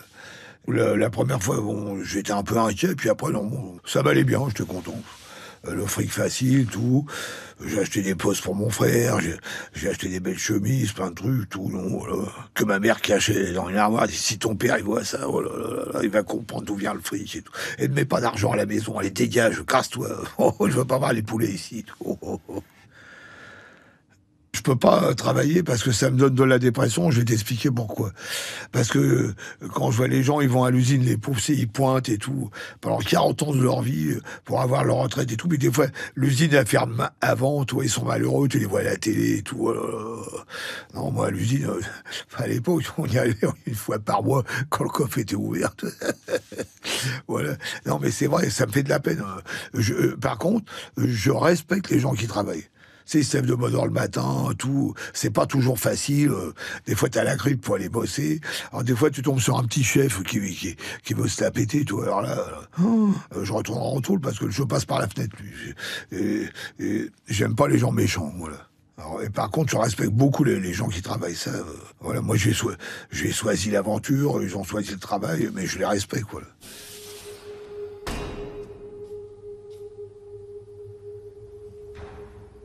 Euh, mon premier hold-up, euh, c'était dans une cabane en bois à Bercy, c'était euh, les KV20 euh, qu'il y avait là. Et les, les, ceux qui bossaient là, ils venaient se faire biller euh, dans la cabane en bois. C'était une enveloppe avec la fiche de paye dedans. Et puis il y avait quand même deux briques à l'époque, ça faisait de la monnaie. On a eu le tuyau, on est rentré, on, était trois, on a braqué le mec, il a pas bougé. Il a levé les mains, on a ouvert les tiroirs, et c'était des boîtes en fer, il y avait les enveloppes. On a mis tout ça dans un sac de sport, on s'est cassé, puis voilà.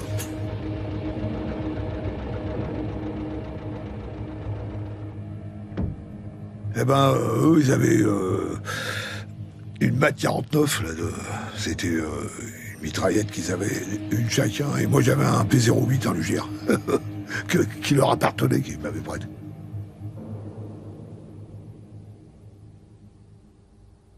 J'ai peur des armes, je déteste les armes, c'est pas du pipeau. Parce que quand t'as vécu dans la violence, toi, c'est toujours voir du sang, tout ça. Euh, chez moi, j'ai que des grosses pluches et des gorilles, des grosses pluches. Je vis avec mes pluches. Ma, petite femme, par, par contre, alors c'est une championne de tir, elle est présidente du tir maintenant. Euh, alors, elle, euh, elle est en règle, elle a un coffre, elle met des trucs dedans, tout. c'est sa passion. Moi, les armes, c'est pas, c'est pas ma passion, les armes. Je préfère le sport, euh, l'haltérophile, euh, la natation, le judo, mes pluches, euh, et puis mes amis, et puis euh, euh, on est tous ensemble, bien réunis la nuit, des fois on se fait des bonnes javas, bon, on devient des diamants. Tu te rappelles ce maton-là? Oh voilà, oh le maton, le galon d'or, là, oh, là, oh les blagues qu'on y a fait, euh, oh là là. Et tu te rappelles celui-là, et puis oh là, et tu te rappelles, ah, GG, bah lui, bah, il est mort d'un cancer, mais, mais bon, il s'est quand même fait ses 19 piges, mais c'est un brave mec. Alors, euh, le café vin, le patron, il est mort de rire, il dit Quand je vois débouler tous les anciens, c'est la cour de récréation. Il dit Chacun raconte ses histoires. Plus, on boit, plus on rigole, plus on déconne. Et puis voilà.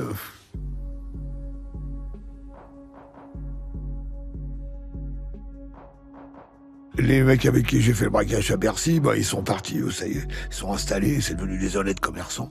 Voilà. Bon, moi, comme j'étais plus jeune, j'ai fréquenté euh, une autre équipe. Et puis, on a tapé des autres bracos, puis voilà, et puis on, se marrait bien. C'est carrément les banques, euh, les fourgons de poste, on avait les tuyaux. Je peux, ça, je peux pas dire de nom, parce que les gens importants qui travaillaient dedans, on avait les tuyaux, alors. Euh, C'était facile. Alors moi, j'ai préparé euh, euh, j'ai des potes qui s'entraînaient devant la glace, ils étaient là. Ouais, bouge pas, tout. bon, on avait un Corse qui... Le chat Agile qui était super, qui travaillait... Qui, travaillait avec nous. Alors lui, il nous, donnait que des indications. Oh Oh Pierrot, il faut mettre que des gants en laine, des cagoules en laine, parce que les gants en cuir, c'est pas bon, ça les traces. Mais les gants en laine, il n'y a pas de traces, même s'il y a de la poudre, il n'y a pas de traces dessus et tout. Les cagoules, pareil, tu vois, il nous donnait des... Alors on était là, ouais, t'as raison, Corsica et tout. Alors lui, on l'appelait le chat agile parce que il était d'une rapidité. Oh là, il enjambait tout de suite le comptoir. Bah bon, ben, allez, on les mains peau de lapin. On tout ça. Tout. Oh, il était chaud. Et c'était un super brave mec. Et lui, euh, euh, son sport, c'était la boxe anglaise. Paix à son âme. Il est mort, ça fait deux ans. Et euh, on allait le voir boxer et tout. Il était chaud. Mais un super brave type.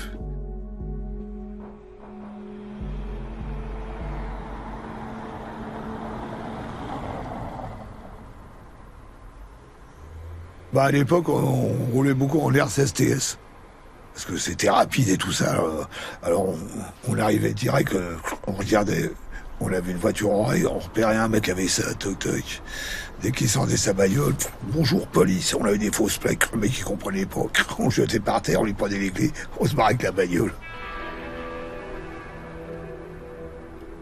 On avait des gens importants qui nous donnaient les tuyaux. On avait le plan de la banque, on avait tout la sortie par derrière, tout, on avait ça. Alors, et puis euh, on y allait, et puis euh, ça, se passait bien. Moi j'aimais bien faire l'entrée et puis et sortir en dernier. J'aimais bien ça. Sortir tranquille, tu sors, tu regardes, toc, toc, toc. Et ça permet de couvrir tes amis ici. La personne qui nous, qui nous donnait le tuyau, elle nous disait Dès que vous voyez que je rentre, vous enquillez derrière moi. Tu peux pas faire une affaire euh, de banque ou de fourgon si t'as pas le tuyau. hein. Bon, tu rentres, bon, tu faut ouvrir les coffres s'il y a rien dedans. Maintenant, c'est autre chose. Les jeunes d'aujourd'hui, ils sont, ils sont ailleurs sur des, des autres affaires. Ils, ils ont raison, il faut bien, bien qu'ils mangent.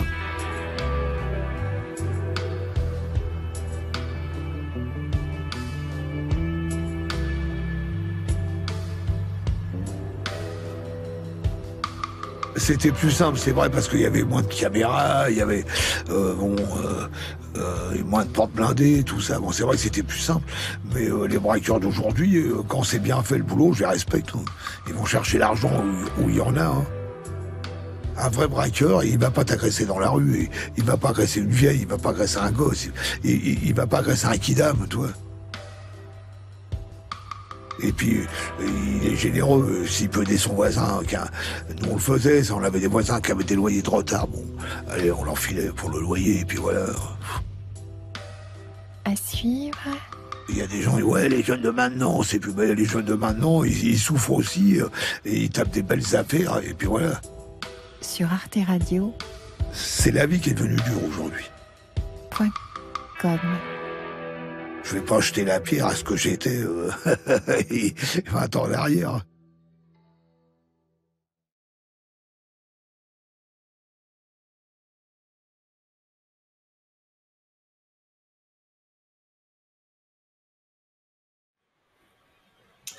Voilà, c'était le premier épisode du Tonton Flingueur, une nouvelle série documentaire euh, de Éric Robin qui a mené l'entretien et qui a fait le pré-montage avec une réalisation d'Arnaud Forest. Alors Arnaud Forest, qui est l'un de nos réalisateurs qui est confiné chez lui, a déjà euh, finalisé l'épisode 2. Il reste encore euh, deux autres et donc ça fera quatre épisodes de 20 minutes en tout. Et ce sera en ligne donc sur Arte Radio dans les semaines qui viennent. J'ai pas le planning sous les yeux, mais je pense d'ici 15 jours il y a beaucoup de questions. Je remercie beaucoup de, votre participation. Vous êtes nombreux et nombreuses et c'est assez sympa. Nous, on est ravis d'avoir pu créer ce moment et de se, réunir un peu autour du son puisque c'est ce qui nous manque. Euh, beaucoup de questions sur la forme, comment on fait, comment on travaille. Donc, je l'ai déjà dit, mais je vais le redire. Quand vous allez sur le site d'Arte Radio, euh, où vous trouvez tous nos podcasts, donc professionnels, travaillés et payés par Arte, euh, vous allez trouver à droite les audioblogs. Alors, les audioblogs, c'est un autre site, c'est la petite sœur d'Arte Radio. Sur ce site, comme son nom l'indique, vous pouvez créer vous-même votre audioblog, c'est-à-dire votre podcast. Donc c'est pas rémunéré, c'est pas produit par Arte Radio, mais c'est votre travail personnel ou ce que vous faites par exemple dans une école. Ok, donc là vous pouvez créer votre podcast, le distribuer et rejoindre la grande famille du podcast. Et puis il y a aussi à l'intérieur du site des audioblogs une partie qui s'appelle les ingénieux du son, dans laquelle il y a des conseils pratiques très simples, euh, les erreurs à ne pas faire pour enregistrer, comment réussir un bon montage. Euh, et puis, il y a des longs entretiens avec nos auteurs, dont quelques-uns que vous avez vus aujourd'hui, euh, Mathilde, Mehdi, Félix. Et dans ces entretiens, les auteurs expliquent sur la longueur leur travail, leur démarche, et donnent des, conseils, pas forcément techniques, mais esthétiques. Il y a aussi nos auteurs de fiction, comme Sabine Zovigian, qui expliquent leur démarche. Voilà, donc il y a une partie tout à fait technique. Hein, quel micro choisir? Euh, Quel enregistreur je dois enregistrer? Ben, Toutes ces questions, on y répond sur le la rubrique dédiée des audioblogs qui est animée par euh, Thomas Guillaume-Bataille. Sur le site principal, la maison mère Arte Radio, si vous êtes perdu parce qu'il y a 2000 sons et que c'est aussi bien rangé que c'est beaucoup moins bien rangé que chez moi, euh, il y a une rubrique qui s'appelle les classiques. Commencez par là, les classiques, c'est à peu près ce qu'on a fait de meilleur depuis euh, 18 ans maintenant. Ce sont les œuvres qui ont gagné des prix, qu'on aime beaucoup, qui sont vraiment essentielles. Et là, vous trouverez des fictions, des documentaires et tout. Euh, des questions sur qu'est-ce qu'on va faire ensuite. Donc, dans 15 jours, on aura la série complète, Le Tonton Flingueur. Les quatre épisodes seront mis en ligne d'un coup. OK? Avant ça, on a réussi à continuer à travailler malgré le confinement, malgré l'éloignement. Et donc, euh, comment on a fait? Bah, On s'envoie les sons, on s'envoie les montages. Moi, je les valide de mon côté. Les réalisateurs les finalisent, font écouter aux auteurs parce qu'on ne fait rien sans euh, l'appui et la validation évidemment des auteurs et des autrices. Qu'est-ce qui va arriver dans les prochains jours? Un podcast à soi de Charlotte Bien-Aimée. Donc Charlotte Bien-Aimée, elle anime chaque mois un podcast à soi qui est l'un des podcasts de référence sur les questions de féminisme, de genre et d'égalité. Euh, il y aura un épisode en ligne cette semaine sur la question des trans et des féministes. Là, on le voit à l'écran, Bookmaker les écrivains au travail, c'est un nouveau podcast de Richard Guettet qui a énormément de succès, qui est formidable et qui est un podcast donc sur les écrivains. Le premier épisode est déjà en ligne, c'est trois fois 30 minutes avec Philippe Génada, c'est extraordinaire. C'est pas du tout des interviews promo d'écrivains, c'est vraiment euh, comment on écrit, pourquoi on va très loin dans la phrase, pourquoi il a sa phrase là, et puis on pose aussi les questions qui fâchent, euh, combien ça rapporte, euh, comment ça se passe avec la critique, les éditeurs et tout. Mercredi, il y aura le deuxième volet de Bookmaker avec l'écrivaine Alice Zéniteur autour de son roman L'art de perdre, un roman magnifique sur trois générations sur l'Algérie et la France. Et, et j'ai écouté ces nouvel épisode, trois fois 30 minutes, c'est extraordinaire. Jamais on a entendu un écrivain parler aussi simplement et facilement de son travail, euh, grâce à Alice Zéniteur et Richard Guettet qui fait du bon boulot. On a aussi euh, Dépêche. Chaque semaine, c'est l'actu déconfiné par Olivier Minot. Donc Olivier Minot, il est confiné à Lyon et chaque semaine, depuis trois ans de toute façon, il fait un, un podcast très court, ça dure sept minutes et c'est un mélange de reportages dans la rue, de revues de presse, de parodies, de blagues, tout ce qu'on peut faire d'intelligent avec de la radio, avec du montage, avec des ciseaux, avec un micro. C'est vraiment euh, constamment surprenant. C'est-à-dire qu'à chaque fois, vous avez au moins une info que vous n'avez pas entendue ailleurs, plus euh, les excellentes blagues d'Olivier Minot. Dépêche, c'est toutes les semaines. Cette semaine, on a aussi notre podcast Fenêtre sur cours c'est un podcast de Elise Costa, c'est tous les 15 jours, voilà. Et fenêtre sur cours, à chaque fois, Elise Costa, qui est chroniqueuse judiciaire à Slate, elle raconte les crimes, les faits divers, les procès. Il y a beaucoup de podcasts dans ce genre. Le sien a l'avantage de prendre à chaque fois un détail, une histoire, et ça va être le comportement d'un juré, le comportement d'un avocat. Et elle raconte euh, chaque fois des histoires qui sont assez terribles, mais elle va chercher l'humain dans la mécanique de la justice. Et c'est un podcast qui a beaucoup de succès. Donc, Elise Costa, c'est Fenêtre sur cours. Il y a un nouvel épisode tous les 15 jours. Tout ce qu'on fait, de toute façon, il y a l'intégralité en ligne. Vous avez de quoi vous occuper, puisque il me semble qu'on va être confiné jusqu'en 2022. Je, je voudrais pas trop spoiler la suite. Euh, pour le reste, ce qu'on a écouté, donc les podcasts unitaires comme Poudreuse dans la Meuse de Mehdi Aoudig ou euh, La vie d'Alette de Sonia Leglen, tout ce qui est unitaire en un seul épisode, une fois c'est fini, que ça soit documentaire ou fiction, c'est dans notre fil de podcast qui s'appelle Profil. Donc dans Profil, vous retrouverez tous nos podcasts unitaires, docu ou fiction. Et il y a un autre, euh, et ceux qui ont les séries comme Le Tonton Flingueur, là, qui est une série documentaire, donc en plusieurs épisodes, Les Braqueurs dont j'ai parlé avant, Cracopolis, mais aussi des très belles fictions comme euh, De guerre en fils de François Perrache, comme Les Chemins de désir de Claire Richard, qui sont des, des feuilletons vraiment à suivre très beaux, Père comme personne de Nina Alberg. Tout ça, c'est dans un film qui s'appelle À suivre.